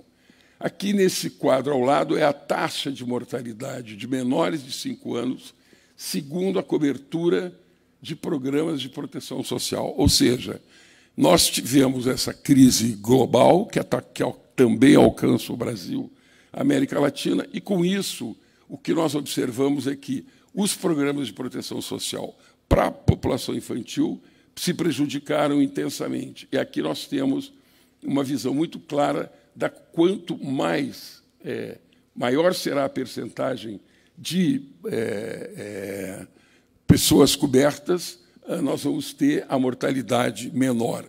Quanto menor a proporção de pessoas cobertas por programas de proteção social, maior será a mortalidade dos menores de 5 anos.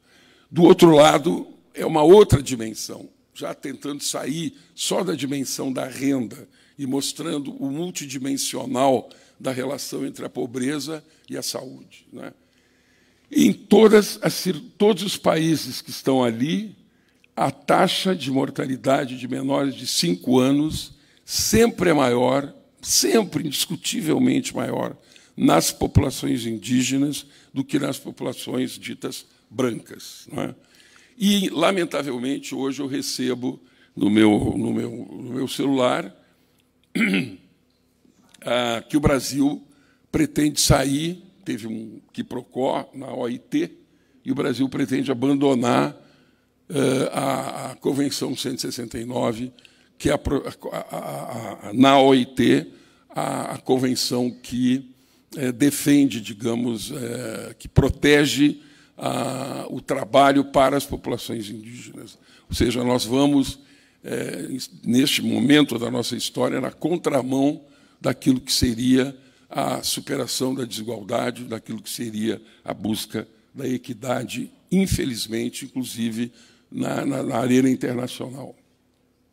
Isso é para mostrar a taxa de deficiências físicas ou mentais em população de 0 a 18 anos por sexo, segundo identidade indígena e afrodescendente. E aqui nós vamos ver, eu estou sem apontador, de novo, que em todos os países nós temos sempre eh, taxas de deficiência físico-mental maior quanto eh, menor é a renda das, do, dos indivíduos. Né?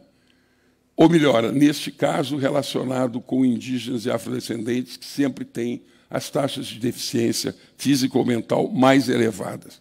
Do lado de lá, nós vamos ver a questão dos jovens que nem estudam e que também estão fora do mercado de trabalho, de novo, por sexo agora e por afrodescendência, mostrando que mulheres e afrodescendentes são populações que sofrem mais na nossa sociedade essa discriminação e essa situação negativa em relação à sua condição.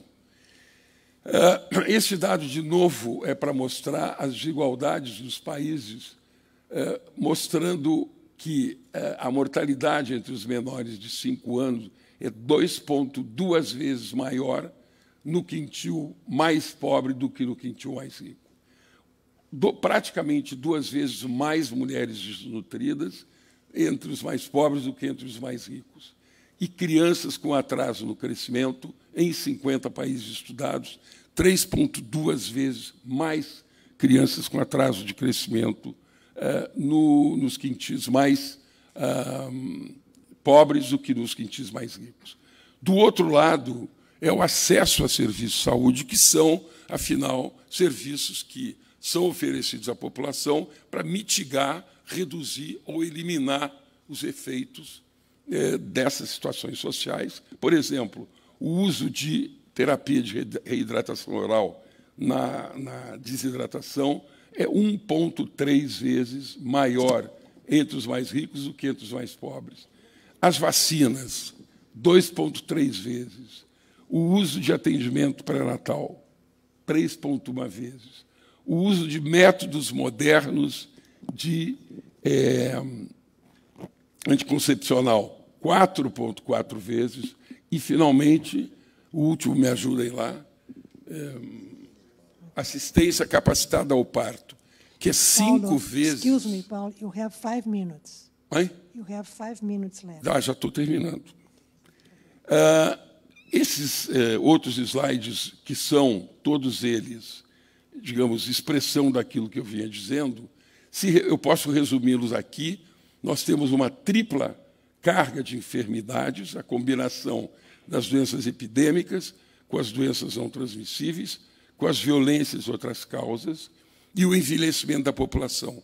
Isso é uma síntese da situação, digamos, latino-americana no campo da saúde, que a gente mostrou ali um pouquinho antes. E uh, uma outra crise paralela é a crise dos chamados medicamentos, vacinas e tecnologias para diagnóstico, que, em geral, são muito caros e quase inacessíveis aos países pobres e, certamente, aos pobres de todos os países. E aqui vem uma das características que eu queria chamar a atenção da contribuição da ciência para a superação da pobreza e da desigualdade, que é na descoberta de insumos em saúde, medicamento, vacina, soros, recursos para diagnóstico, entre outras inovações, que nós, no campo da saúde, podemos contribuir efetivamente. Síntese: ah, nós apresentamos dados sobre a magnitude da pobreza e das desigualdades estruturais na América Latina, mostrando uma América Latina com alta heterogeneidade. A pobreza e a desigualdade são situações distintas e que requerem políticas públicas também distintas. Pobreza é uma coisa, desigualdade é outra, e as políticas públicas são diferentes para sanar as duas situações. E tão importante quanto erradicar a pobreza, que é um dos objetivos, o primeiro objetivo da Agenda 2030, ou dos ODS, é promover a equidade ou e reduzir ou eliminar as desigualdades econômicas, sociais e ambientais. Isto é, não deixar ninguém para trás, que é a mensagem da Agenda 2030. E para isso, não é a mão invisível do mercado, nem as empresas que trabalham visando o lucro, obviamente tem um, papel social, não será a mão invisível do mercado, mas sim políticas públicas é que são essenciais, imprescindíveis e indelegáveis para promover a equidade e enfrentar as desigualdades. Quer dizer, não consigo visualizar em nenhuma situação uh, que simplesmente o funcionamento, entre aspas, natural da economia seja capaz de superar a pobreza e as desigualdades. E no campo da saúde se requer políticas públicas, não apenas do sistema de saúde, mas políticas públicas intersetoriais, água, esgoto, emprego, eh, eh, todos, todos os componentes eh, desse, digamos, desse puzzle, né? que é hoje nós eu prefiro sempre apresentar em vez de algo todo certinho, né? na realidade o que nós temos é que existe uma interpenetração muito grande entre os ODS e quase todos os ODS deste puzzle têm a ver com saúde. Se nós realizarmos as metas dos objetivos do desenvolvimento sustentável, nós teremos saúde. Daí, junto com, obviamente, a realização do ODS 3, que é o ODS de saúde. Mas, insisto, nós precisamos, para isso, de coordenação de políticas públicas em prol da equidade, que são claramente conhecidas no mundo, são evidências imensas que já foram, uh, os cientistas todos uh, de diversas áreas já conseguiram produzir. Muito obrigado.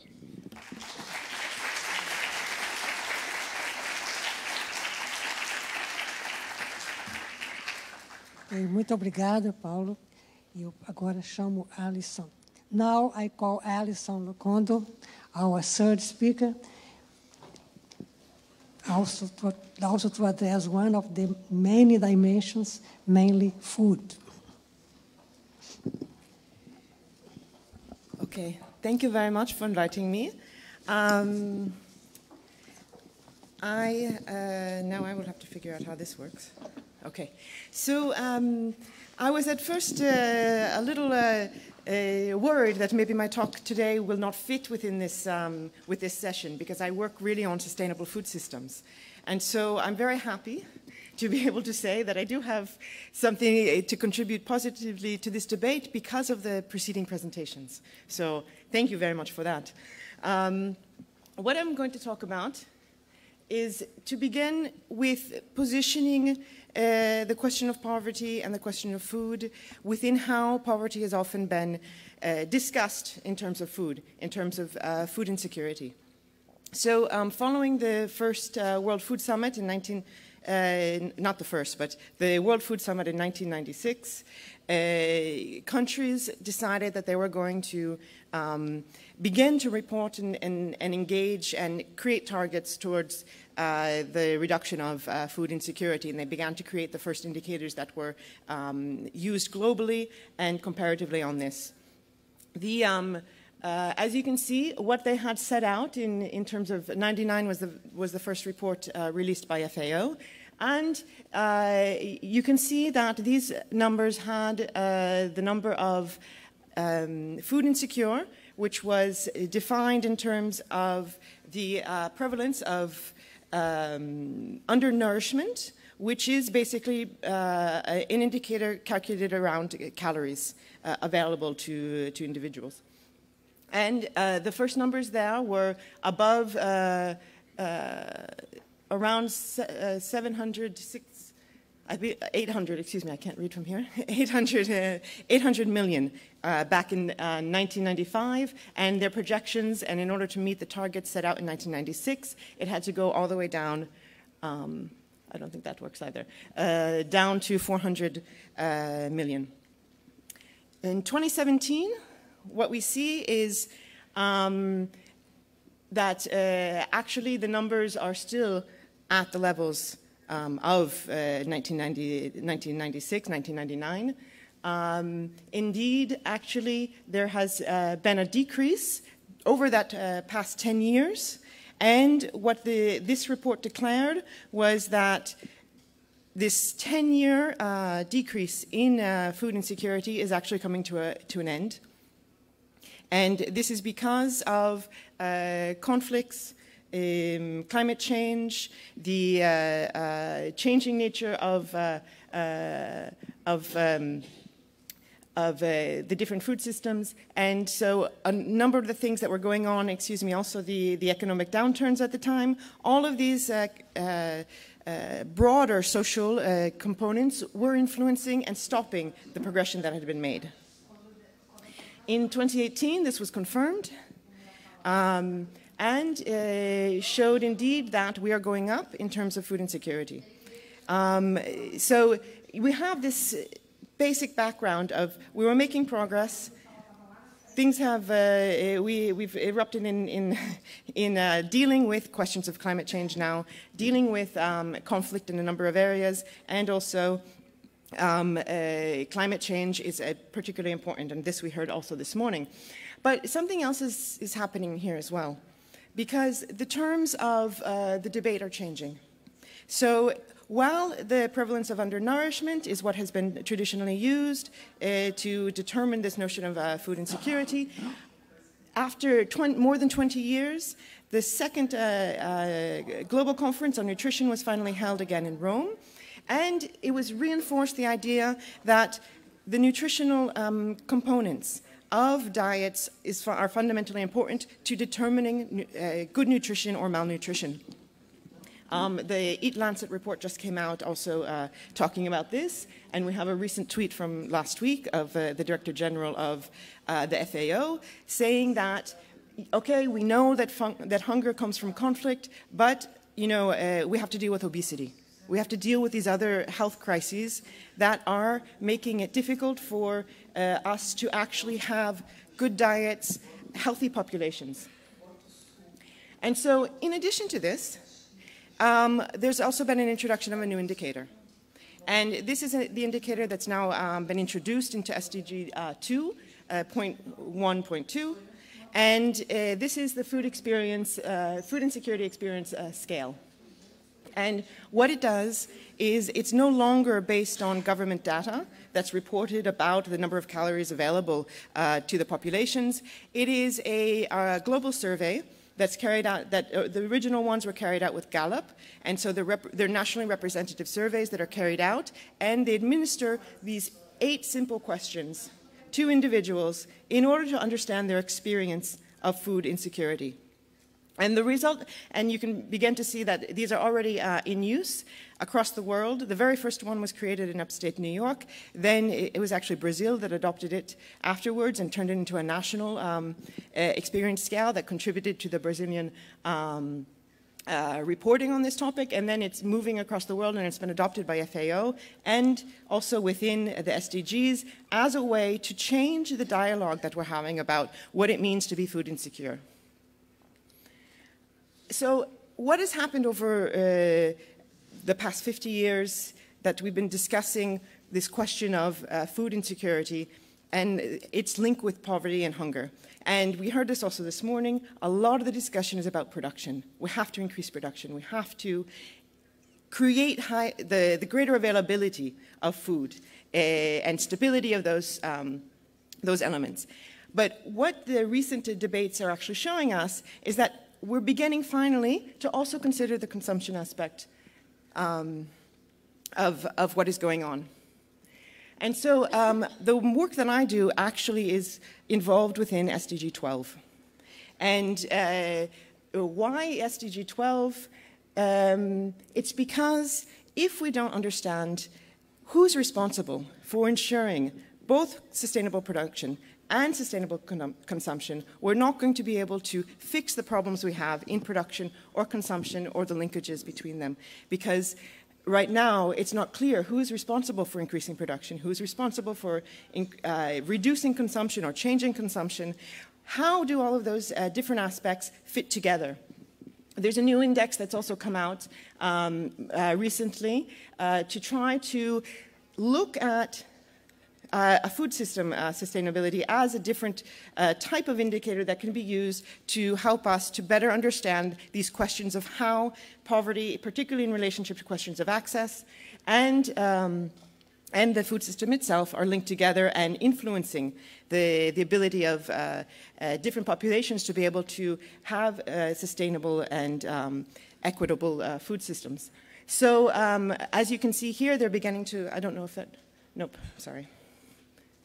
Um, so uh, they are, beginning to look at and compare countries based on uh, three, three uh, main areas of criteria based on food losses and waste, which is an important aspect of a food system, and um, uh, sustainable production, as well as nutritional challenges that the different countries are dealing with. And in that, you see that they're beginning to deal with these questions of malnutrition. And so some of the over um, uh, the overweight and the other uh, health-related and food-related, diet-related um, health issues are being taken into consideration in these new metrics.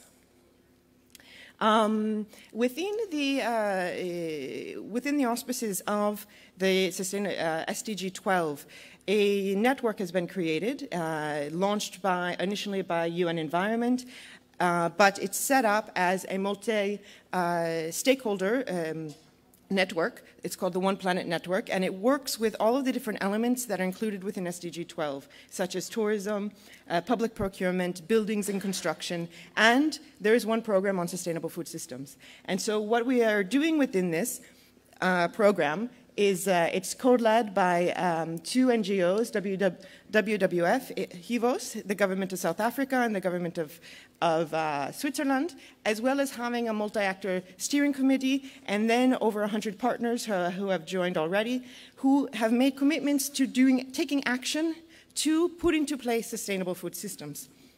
And we have uh, five different uh, groups who are based on uh different stakeholder groups uh, government, uh, private sector, civil society, uh, research, and um, international organizations. So um, just to kind of explain a little bit what I'm talking about in terms of a food system, um, and that's gone automatically a bit too fast. So the HLPE report um, uh, uh, put together this idea uh, of, a, of a schematic of how we can define what a food system is and what are some of the challenges we're deal with when we talk about food systems.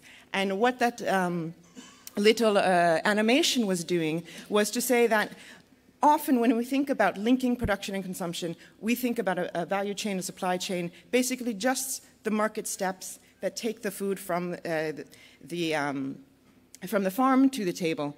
But actually, uh, the food system is much more complex than that because we have a lot of different elements that are linking to the, uh, the ability for, uh, uh, for people around the world to be able to ensure their food security through the way that they eat and how they um, eat that food. So what we're concerned with mostly are these middle elements here. So not only is it the actual market uh, relationships that bring the food to the table, but it's the food environments which condition the choices of consumers, the types of diets that they're eating that then lead to different uh, types of nutrition and health outcomes, as well as social, economic, and environmental impacts of all of these uh, uh, ways of eating and ways of organizing themselves. So um, now I'm going to talk about the empirical work that we've been doing to try to better understand where these changes are actually being made. So um, uh, in 2013, I started a participatory research project with FAO. Um, so with INRA and FAO, to begin to study what some of, the, some of the innovations are that we can find around the world of people who are actually putting into practice, moving from rhetoric into action, into creating uh, particularly uh, local food systems based on um, the reorganization of these different elements of a food system. Because we have to uh, understand and remember that food systems are not, there is not one food system. We have a global food system, but within that, we have many different layers of multiple forms of food systems where there are interactions between different types of producers, different types of consumers, different types of intermediaries, and uh, policy, uh, policies influence them in different ways. And so you can talk about a global food system, national food systems, and a number of subnational and local food systems. What we began to study are at the local level. These are small, um, small initiatives where the producers and consumers, for the most part, know each other and they are trying to change the way in which they work together. And so, um, what we uh, basically found is that there's a huge uh, diversity uh, of ways in which they are selling their food, getting their food from. Um, from the production to the consumption. And I do want to point out a lot of this uh, is so we were working with those producers who are considered agroecological. They're engaging in diversified farming. They're engaged in sometimes organic, but not always organic, linked through these um, uh, working ecological approaches to farming that are uh, highly sustainable. And a lot of people, the, a lot of literature assume that these types of uh, producers, the, the food that they go to goes to rich consumers in urban areas. This is not what we found. We found, particularly in these cases, that we asked um, all of the people that we interviewed for, for this particular study um, how, they, how they were uh, positioned themselves in terms of income related to all of the other people within their communities, whether they were uh, at the same, let's say, average income level or higher or lower. And within the initiatives, you do have differences. Uh, some, uh, there's always some people who are, who are, a bit higher and some people who are a bit lower, but overall these are diversified, and it's not just, let's say, rich producers selling to rich consumers, but you have also poor producers selling to poor consumers as well. It depends on how they've organized themselves and the uh, objectives of their initiatives. So um, I will say just very quickly two words uh, on some of the definitions that we use that will help to better understand the way that we've, we've been talking about these initiatives. We see innovation as a journey from an idea to a user. We don't consider it a, um, a term that can be synonymous with technology.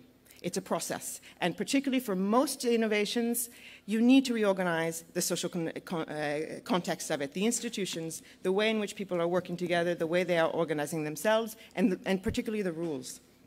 And why is this important for the food system and for markets? Because markets are basically these collective devices that allow compromises to be reached, not only about the nature of the goods to produce and distribute, but also the value that we give to them.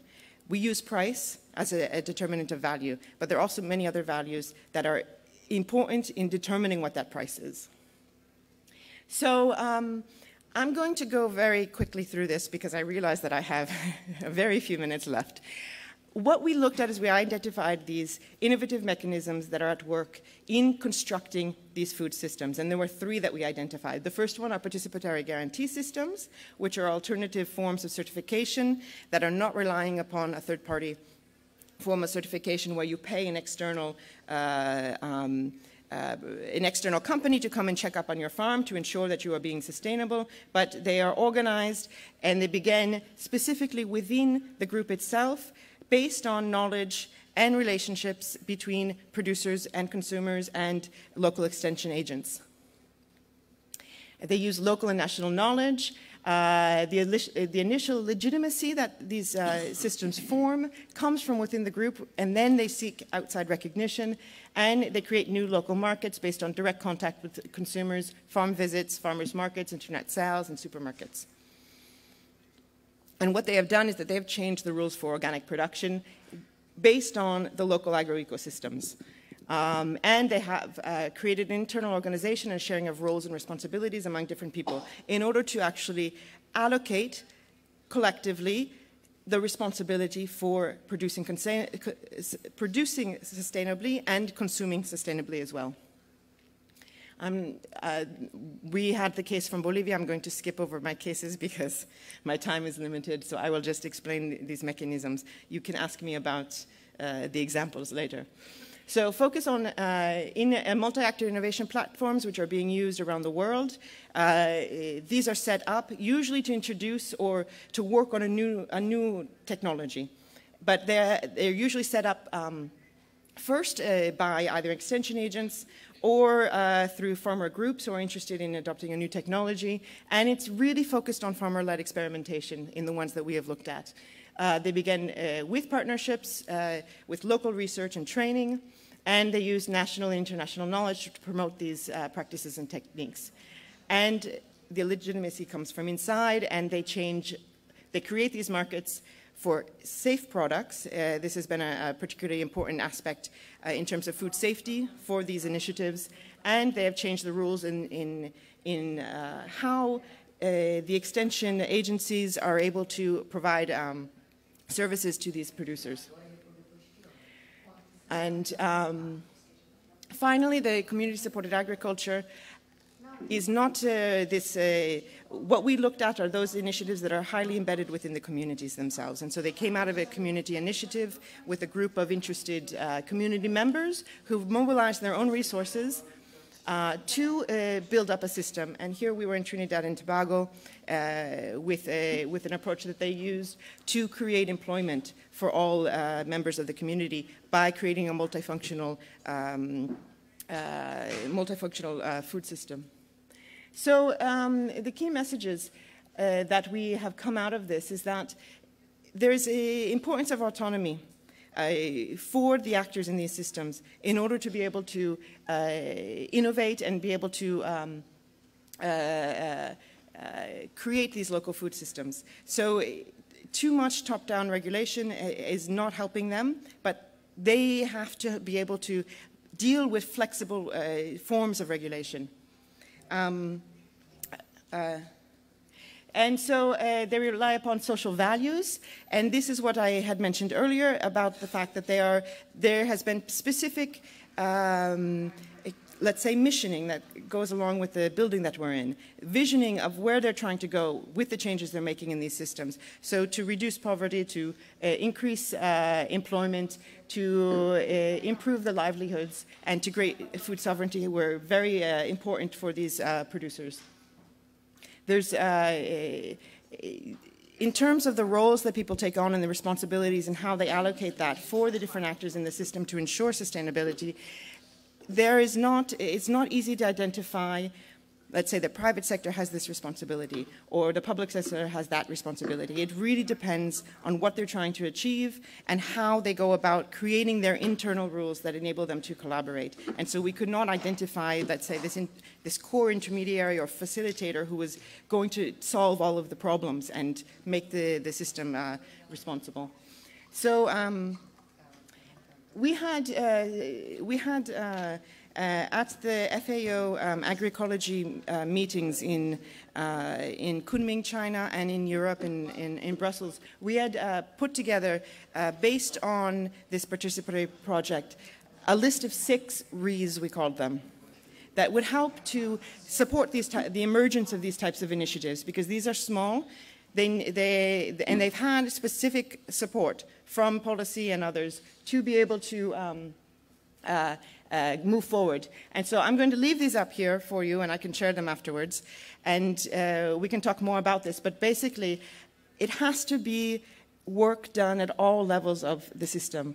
It cannot be just production. It cannot be just consumption. It has to be also those linkages between them, and particularly the knowledge that we're relying upon to enable us to develop the, the, the new ways of valuing, uh, revaluing uh, agriculture and food in our uh, societies. So thank you very much.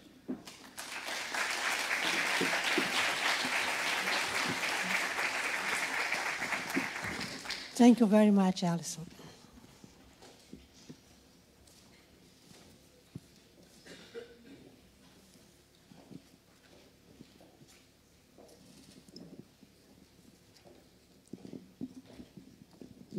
Okay, we now have time for comments, but let me start just observing that maybe it's my training as a political scientist, but all the three presentations, which were extremely useful, made me think of the how crucial the connection between knowledge and politics is.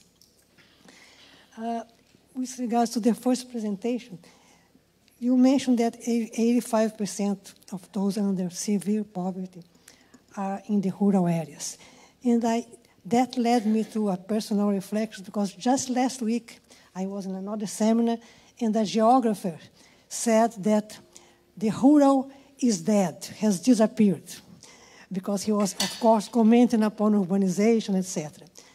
Now I think the disappearance is political. We are living in the countryside those who are in a desperate condition. And uh, thinking about what you were saying, uh, this idea that particular uh, uses have been made of the index. Of course, this reflects the conditions of different contexts.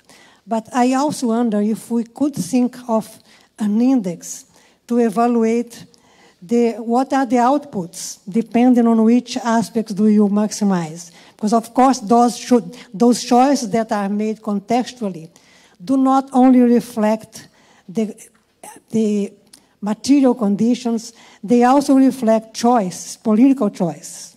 And of course, some are more useful than others. Um, my colleague Paulo, I think is a colleague because what he made was mainly a political science presentation with his uh, medical angle. Uh, of course, capitalism has to be kept responsible. But I always think of a definition of a famous political scientist whose name I forgot, I'm sorry, but he says that politics is the, is the way to alter, to change market results. That means that we are always doing politics. Even the liberals, when they say let the, let the enterprise let it show, they are making a political effort so that this happens. And given these conditions, I think it's, I mean, criticism is very useful and I share the criticism. But how can we think the other way around? What are the opportunities we have to change the existing market conditions? And Allison, I have one question for you. We are close because we share as the sociological community. Uh, you were mentioning the, I mean, I, of course, it's crucial to have sustainable production and consumption. But if I didn't, maybe I, get, I, I got it wrong, but I have the impression that you are focusing consumption from the perspective of the producers. And I know that food habits are extremely difficult to change. I know because I remember a, a specific research that MIT has led on that that one of the most difficult things on earth to change are the way people like to eat. So how can we think of sustainable consumption from the perspective of the, of the consumer? Okay, you don't have to answer me, it's just immediate reflections. If you prefer to open the floor or to discuss among yourselves, it's fine.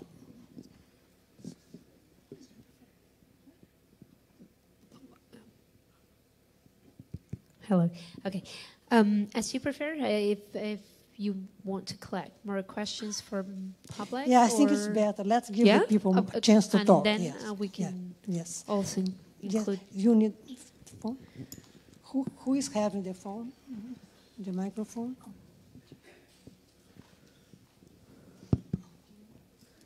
Uh, thank you. Uh, just on, uh, on, on this last point that you mentioned about consumption, um, I think it's a very, very critical problem, and I'm very, very glad that you mentioned that we should not only talk about production, we should also talk about consumption.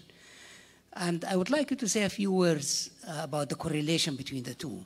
Um, you know, if the, the, producers would like to produce more because they would like others to consume.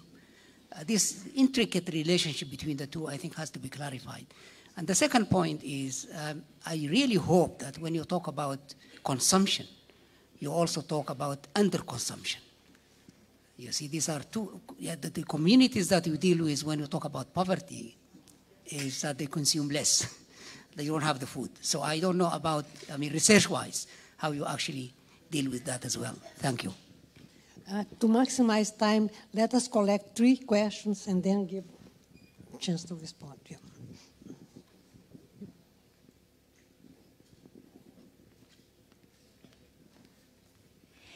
I, I would like to thank you because you, you made me think a lot today. But uh, you have studies very interesting. But action, I just felt in the last lecture. And I would suggest you, and suggest for all, to elect here the main points of research for science to go through poverty in action. I have four, but I won't, I won't say it now. I prefer to hear from you. What, what are the priorities, priority in action for uh, the reduction of poverty and inequality? Uh, not to, uh, we know that the studies to map, to, to, to see where are the poverty, what is poverty, is very important. But elect the priorities, I think it's, it's very important too. Okay, thank you. Let's collect one more. Yeah. Um, it's a question for Maria. You, you, mentioned the poverty indicators. Two of them were um, schooling, um, years of schooling, and attendance at school. Is there any allowance made on the quality of that education? Okay, let's answer those three and then. Okay, well, thank you very much for all the questions. Um, first, uh, let me respond to Elisa. Um, so, the global MPI has done the probably the best possible with the data availability. It is inspired by Sen, Amartya Sen's um, framework of capabilities. So, in as much as possible, we were trying to incorporate indicators of functionings over um, access. But in the case of schooling, for example, these functionings are quite limited as these indicators are quite limited as measures of functionings.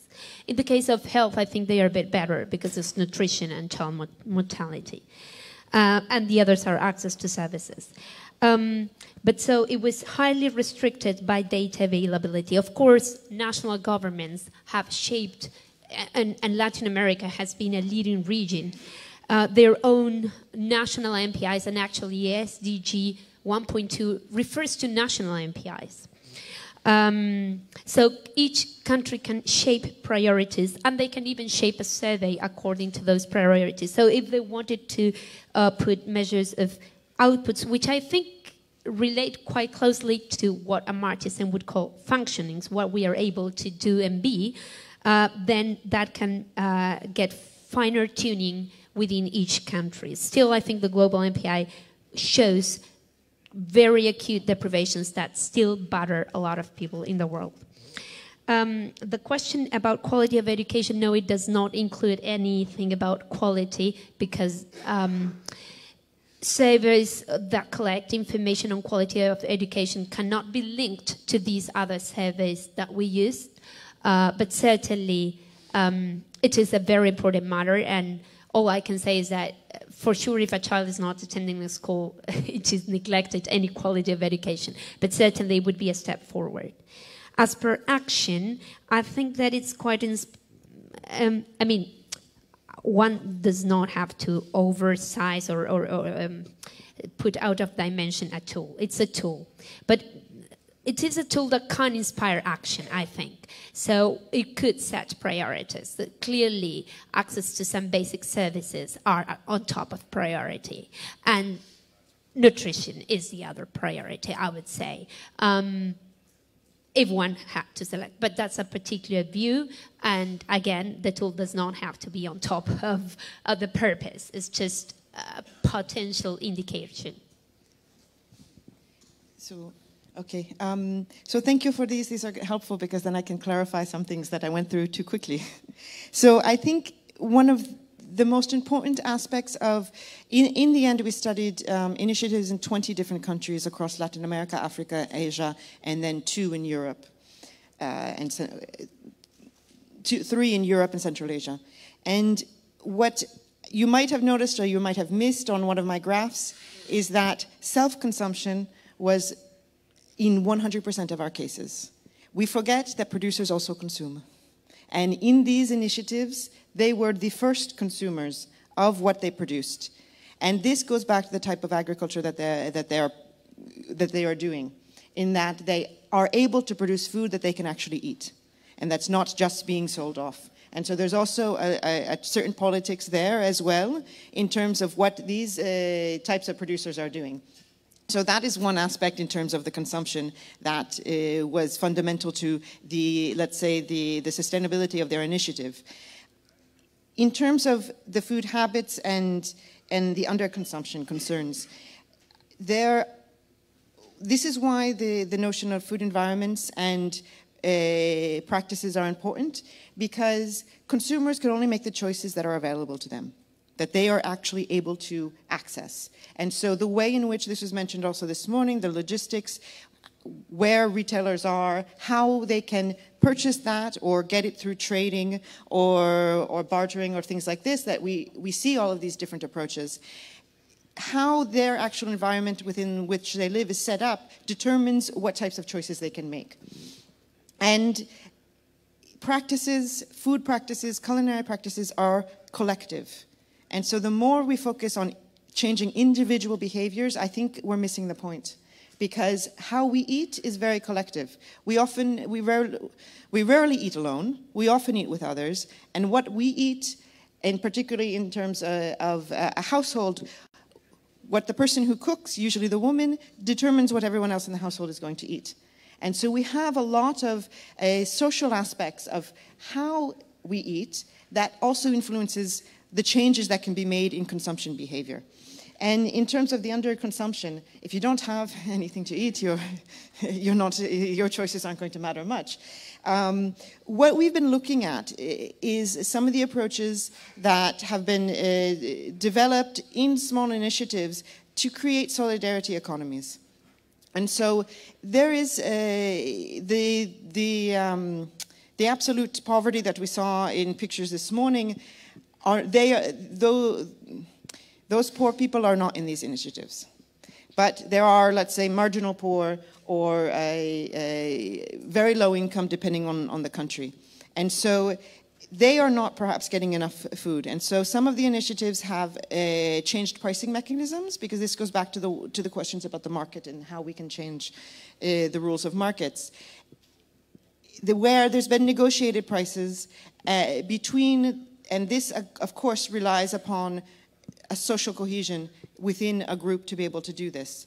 That they're willing to have different pricing mechanisms and uh, create solidarity economies for sharing between those who are less well off and those are, who are greater, higher well off. These are rare but they are emerging. And so these are things that should be, let's say, studied a bit more to understand when and why this works and if these, these can be expanded to other situations.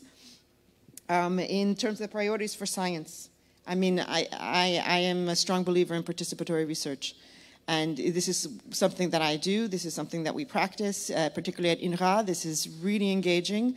There's a there's a big movement uh, in Europe in particular, but within, within France to really begin, begin but it, maybe it happened before, but really begin to listen, particularly to producers, to consumers. What are these questions? What are the problems that they have in terms of uh, uh, resolving it on the farm or resolving in their access, and then trying to uh, um, find solutions together. So. Bem, eu queria uh, agradecer a provocação da, da Elisa, porque não, indiscutivelmente a saúde, nós não estamos falando só de doença. A saúde é uma disciplina eminentemente, objeto eminentemente social, Elisa. Ele tem o importantíssimo componente biológico, não é óbvio mas ele, a saúde da população, a saúde enquanto isso é uma expressão da vida, é fundamentalmente social. E aí a gente tem eh, as ciências que podem contribuir no campo da saúde, são as ciências biológicas, biomédicas, né, conhecidas desde a antiga microbiologia, a genômica, ou seja, uma quantidade enorme de cientistas trabalham em torno da saúde humana. É, as ciências clínicas são dedicadas àquelas pessoas é, ou populações que estão doentes. E as ciências sociais aplicadas, entre as quais a economia política, a demografia, a gestão do sistema de saúde, governança, é aquilo que nós denominaríamos as disciplinas da saúde pública. Então, nós temos três dimensões para discutir saúde: a dimensão biológica, a dimensão clínica e a dimensão uh, da saúde pública, todos, todas elas interligadas. E eu queria fazer menção à ação, que é a minha, que é a nossa é, é, participante levantou. O Brasil deu um exemplo muito especial de 2002 a 2015, quando organizou, em primeiro lugar, para enfrentar os problemas sociais e que impactou profundamente na saúde, a, o programa de transferência de renda, o Bolsa Família.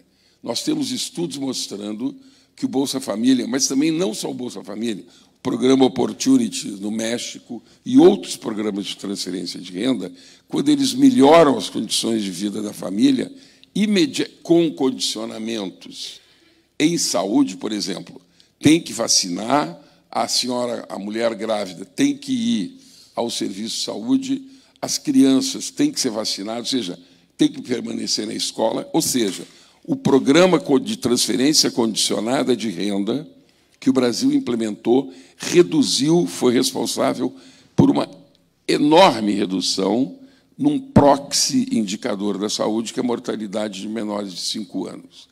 O benefício de prestação continuada, que agora estão querendo derrubar, ele estendeu a vida dos idosos. E ele é um programa de previdência, ele é um programa de transferência de renda, mostrando que esta composição disciplinar para estudar os efeitos sobre a saúde humana de políticas sociais e de políticas de saúde, políticas de sistema de saúde, são extremamente importantes. E nós tivemos resultados espetaculares, não só no Brasil, pela implementação, um, do programa de transferência de renda, da benefício de prestação continuada, que são programas de renda.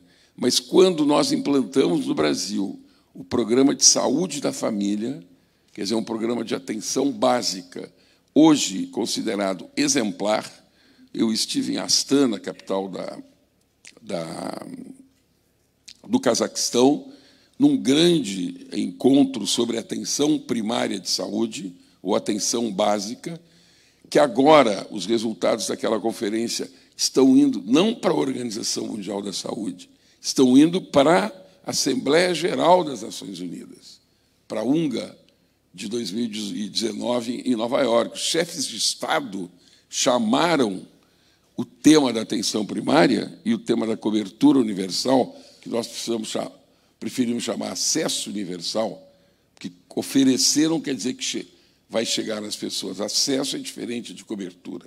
Isso é uma terminologia técnica. Nada técnico, é bastante político, aliás. Então, quando é, se, é, isso tudo derivou do campo da, de estudos interdisciplinar da saúde pública, que incluía ciências biológicas, ciências clínicas e ciências sociais aplicadas. Essa convergência da ciência das disciplinas em torno do tema da saúde foi que solucionou a questão da saúde. Porque vieram os recursos biológicos, vieram os medicamentos, vieram as vacinas, veio a nova governança, veio o programa de atenção básica, veio o programa de imunização, e isso é o resultado de vocês, nosso, isto é, o resultado de cientistas que no campo das ciências aplicadas, sociais aplicadas, que no campo da medicina clínica, das ciências clínicas e no campo das ciências biológicas, foram capazes de compor um belíssimo conjunto de cientistas que levaram a ação com resultados espetaculares do ponto de vista coletivo e do ponto de vista da qualidade de vida também de cada indivíduo. Então, eu sou um profundo, uh, eu respeito profundamente a capacidade interdisciplinar para dar resultados no campo da saúde. E nós podemos avançar. Quero cumprimentar a Academia Brasileira de Ciências, quero cumprimentar ah, também a Academia Internacional, quer dizer, o, o, o grupo internacional todo, que está junto com a Academia de Ciências realizando essa reunião, porque se nós soubermos enfrentar juntos o, o tema completo dos 17 ODS, ou seja, da Agenda 2030, sempre multidisciplinarmente, a meu ver, nós vamos gerar ações e vamos gerar transformações em prol da saúde e da qualidade de vida da população global, além da população de cada país. Okay, thank you very much. Thank you to you all. I'm sorry I have to stop here in order not to penalize the, the next engagers. Thank you so much for your participation. I think it was a wonderful starting of our whole our discussion.